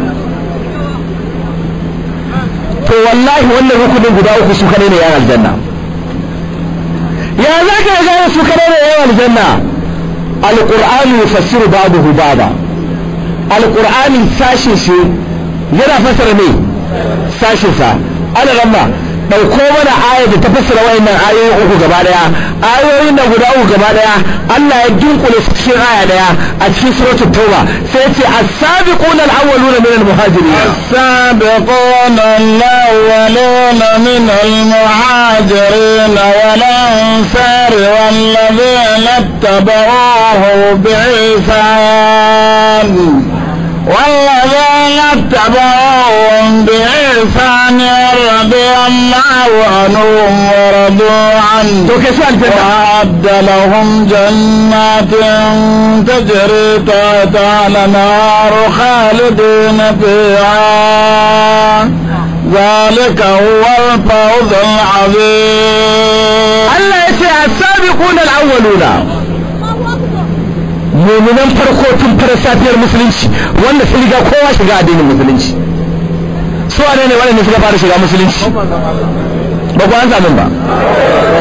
Su wa suka fara shiga musulunci? Yan shi'a. Kumaini babarisi. Kulaini dusi. Ibn al-alqami wali na ulbaro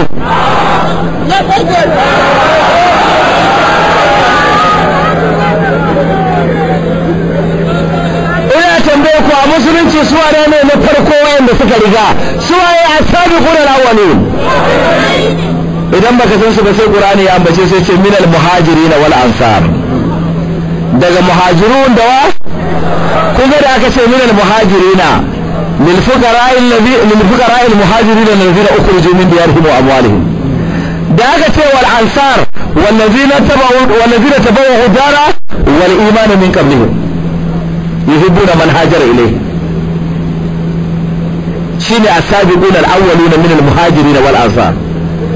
Sai Allah ya ce wallazina tabauhum da waɗanda suka biyo bayan muhajiruna da ansar waɗanda suka biyo bayan sahabbai da zagi da tsinuwa Allah ya ce kyautatawa.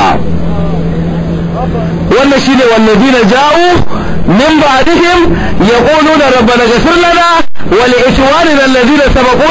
iman wa la taj'al fi qulubina ghillan lil ladzina amanu rabbana innaka ra'ufur rahim su ne wallazina tabauhum bi ihsan malamai suka ce akwai abin ban sha'awa a nan da aka zo muhajirun ba ce muhajirun bi ihsan ba su automatic ticket.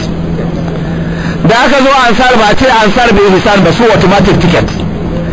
amma da aka zo allazina tabauhum an sa sharadi ko ba sharadi ba an sa sharadi menene sharadi bi ihsan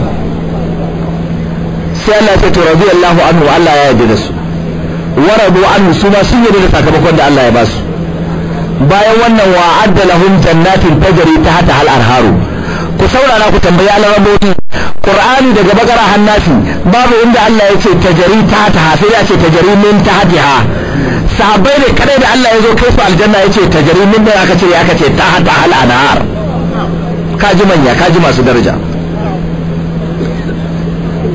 Allah ya ce yin sun shiga cikin aljanna kuma kariri na fiya za su kawo ma cikin aljanna.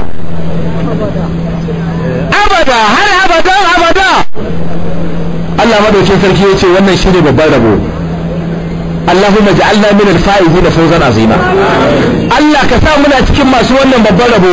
Waɗanda za mu biyo bayan sahabban manzon Allah sallallahu alaihi wasallam da kyautatawa. Ku je ku ga abin da ake faɗa a yanar gizo.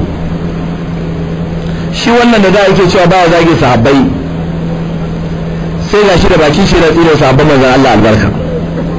Allah ya bashi ba zai bashi kuna jin magana da wani malami shi a yake faɗa? Wai sai na abubakar wai shedan na samun yatsa cikin dubura yaga kuma a sababa aisha ya sai na abubakar ita kuma wai shedan yana sa mata yatsa a cikin farji sai ya ce duk wanda shedan ya sa masa yatsa a dubura in namiji ne zai zama dan luwadi shi yasa sai na abubakar dan luwadi ne. Duk wacce shirin ya sa mata yatsa a farji za ta zama mazinaciya shi yasa Aisha mazinaciya ce. Yace sayyidina Umar yana da wani ciwo idan ciwon ya tashi ba zai samu sauƙi ba sai yayi je yayi goho ayi luwadi da shi kamin ya samu sauƙi. Ku je cin mutuncin da suke sahabban manzon Allah sallallahu alaihi wasallam. Ku ji irin rashin kunya da cin zarafin da suke wasu habban manzan Allah sallallahu alaihi wasallam. Akwai garin da na je wa'azi na samu sun samo karya sun shara mata jambaki sun daura mata dan kwali za su yi zanga-zanga da ita. Wai karyar ita ce Aisha radiyallahu anha. Wai karya ita ce Aisha.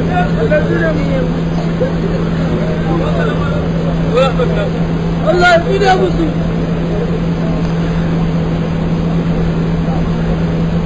Kenan waɗannan ba su shigo cikin wallazi na taba uhun bi hisarin ba.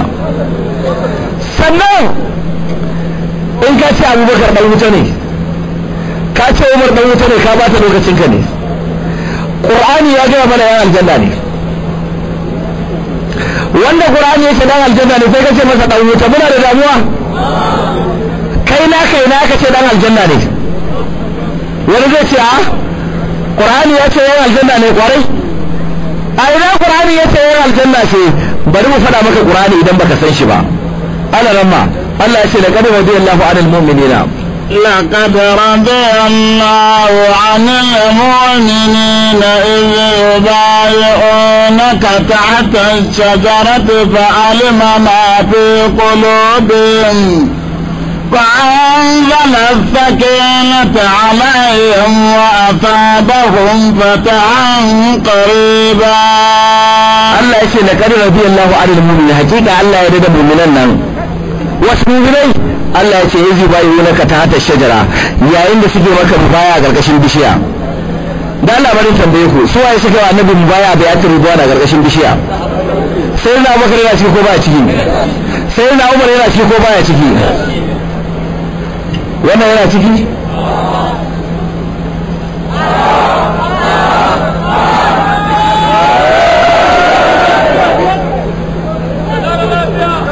Wanda Allah ya ce ya yi da shi sai kashe dan wuta ne. Waye asara? Ala ramma ba su aya cikin alqur'ani mai girma wa iz gadawta min ahlika. وإذ غدوت من أهلك تبوأ المؤمنين مقاعد للقتال Allah ya ce ka ambaci lokacin da ka fita da jijjibi daga cikin iyalanka sanda za a yi yakin badar kana nuna wa sahabbai wuraren da za su tsaya a fagen daga sai Allah ya ce tubaru ulumuni kana nuna wa mu'minai su waye mu'minan sai na bakar yana wurin Umar yana wurin Abdurrahman bin Auf yana wurin sai na Ali yana wurin. Waɗannan sahabban da kake zagi su ne wayanda Allah ya kira su da mu'minai wanda Allah ya kira shi da mu'mini idan ka kira shi da kafiri waye asara? Kai kai asara. Kun san abin da zai ba ku tausayi ku ce Allahu akbar. Kuma ni da kuke cewa mutumin kirki yayi mutu'a zina da yarinya yayi shekara huɗu. Ba ni na faɗa ba na kuna da ido. Ku zo ku duba lillah summa litarik ɗalibin sa ya faɗa. Ya ce mun yi tafiya tare da malam. Sai muka je muka sauka gidan wani shi ma dan shi'a ne. Akan za mu ci abinci ne mu wuce sai kuma ne ga yar mutumin. Yarinya ce kyakkyawa amma karama ya shekara huɗu kuma ne saboda tsabar ƙeshe yake sai ce ya fasa wucewa gidan zai kwana. Yace kuma sai ya yi auren mutuwa da yarinyar. Uban da yake dan shi'a ne ya amince aka ɗauko yarinya aka kai masa cikin ɗaki shi. Ya kulle. Ɗalibin ya ce wallahi ranar ba bacci ba yarinyar kwana ta tana ihu. Kamar ta zai fita. Tsohon na ya murgushi. Ya ce da safe da ya fito da ya kalli fuska ta sai raina ya ɓaci sai ta bai ya ce me zaka ce akan abin da na aikata nan kam? Mutu'a da da yarinya ya shekara huɗu. Sai wace ana gafarta malam. Ko da Allah ke wahayi ya gaya muku magana kai tsaye na mu idan sa baki kan abin da kuka aikata. Sai kuma ya ce a shekara da hankali kana da sauran imani kana da sauran imani.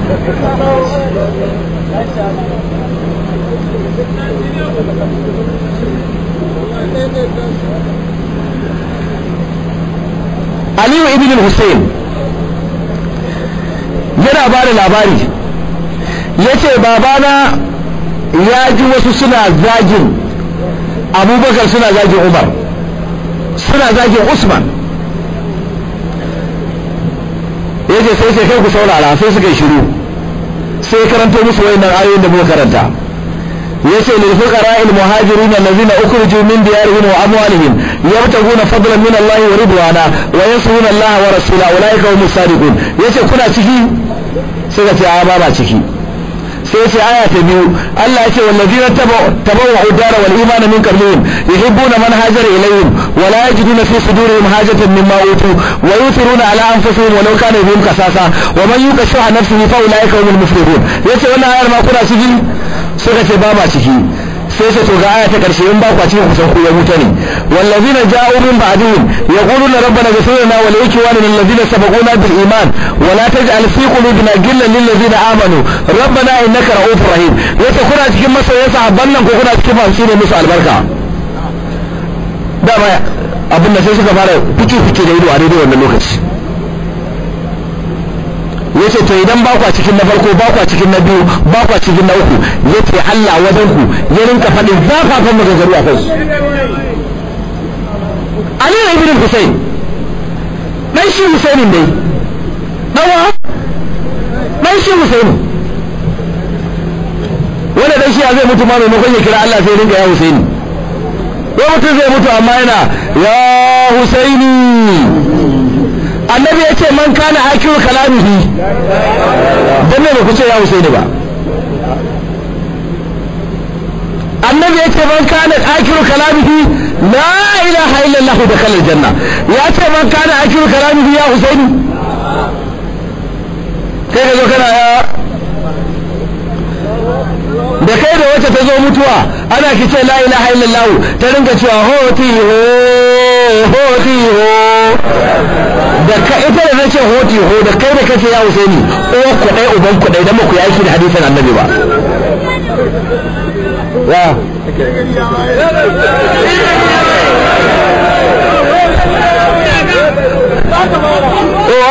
Hajiya su mai da ba a tashi sai safe?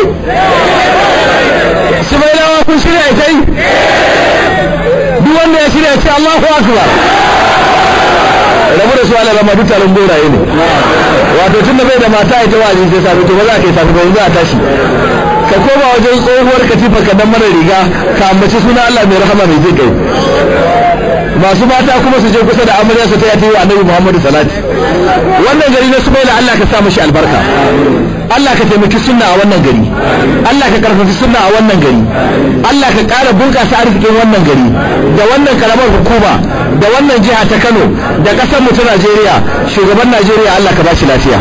Shugaban Najeriya Allah ka bashi lafiya. Shugaban Najeriya Allah ka bashi lafiya. Shugaban Najeriya Muhammadu Buhari Allah ka warkar da shi. Allah ka bashi lafiya. Allah ka ƙara masa hikima da basira da zai taimaki 'yan Najeriya. Allah ka zauna da Najeriya lafiya. Masu ƙoƙarin kawo Najeriya matsala da tashin hankali ta in masu shirwa ne Allah ka shirye da su. In ba masu shirwa ba ne Allah ka raba su da mu mu zauna lafiya. Subhanakallahumma wa bihamdika ashhadu an la ilaha illa anta astaghfiruka wa atubu ilaik assalamu alaikum wa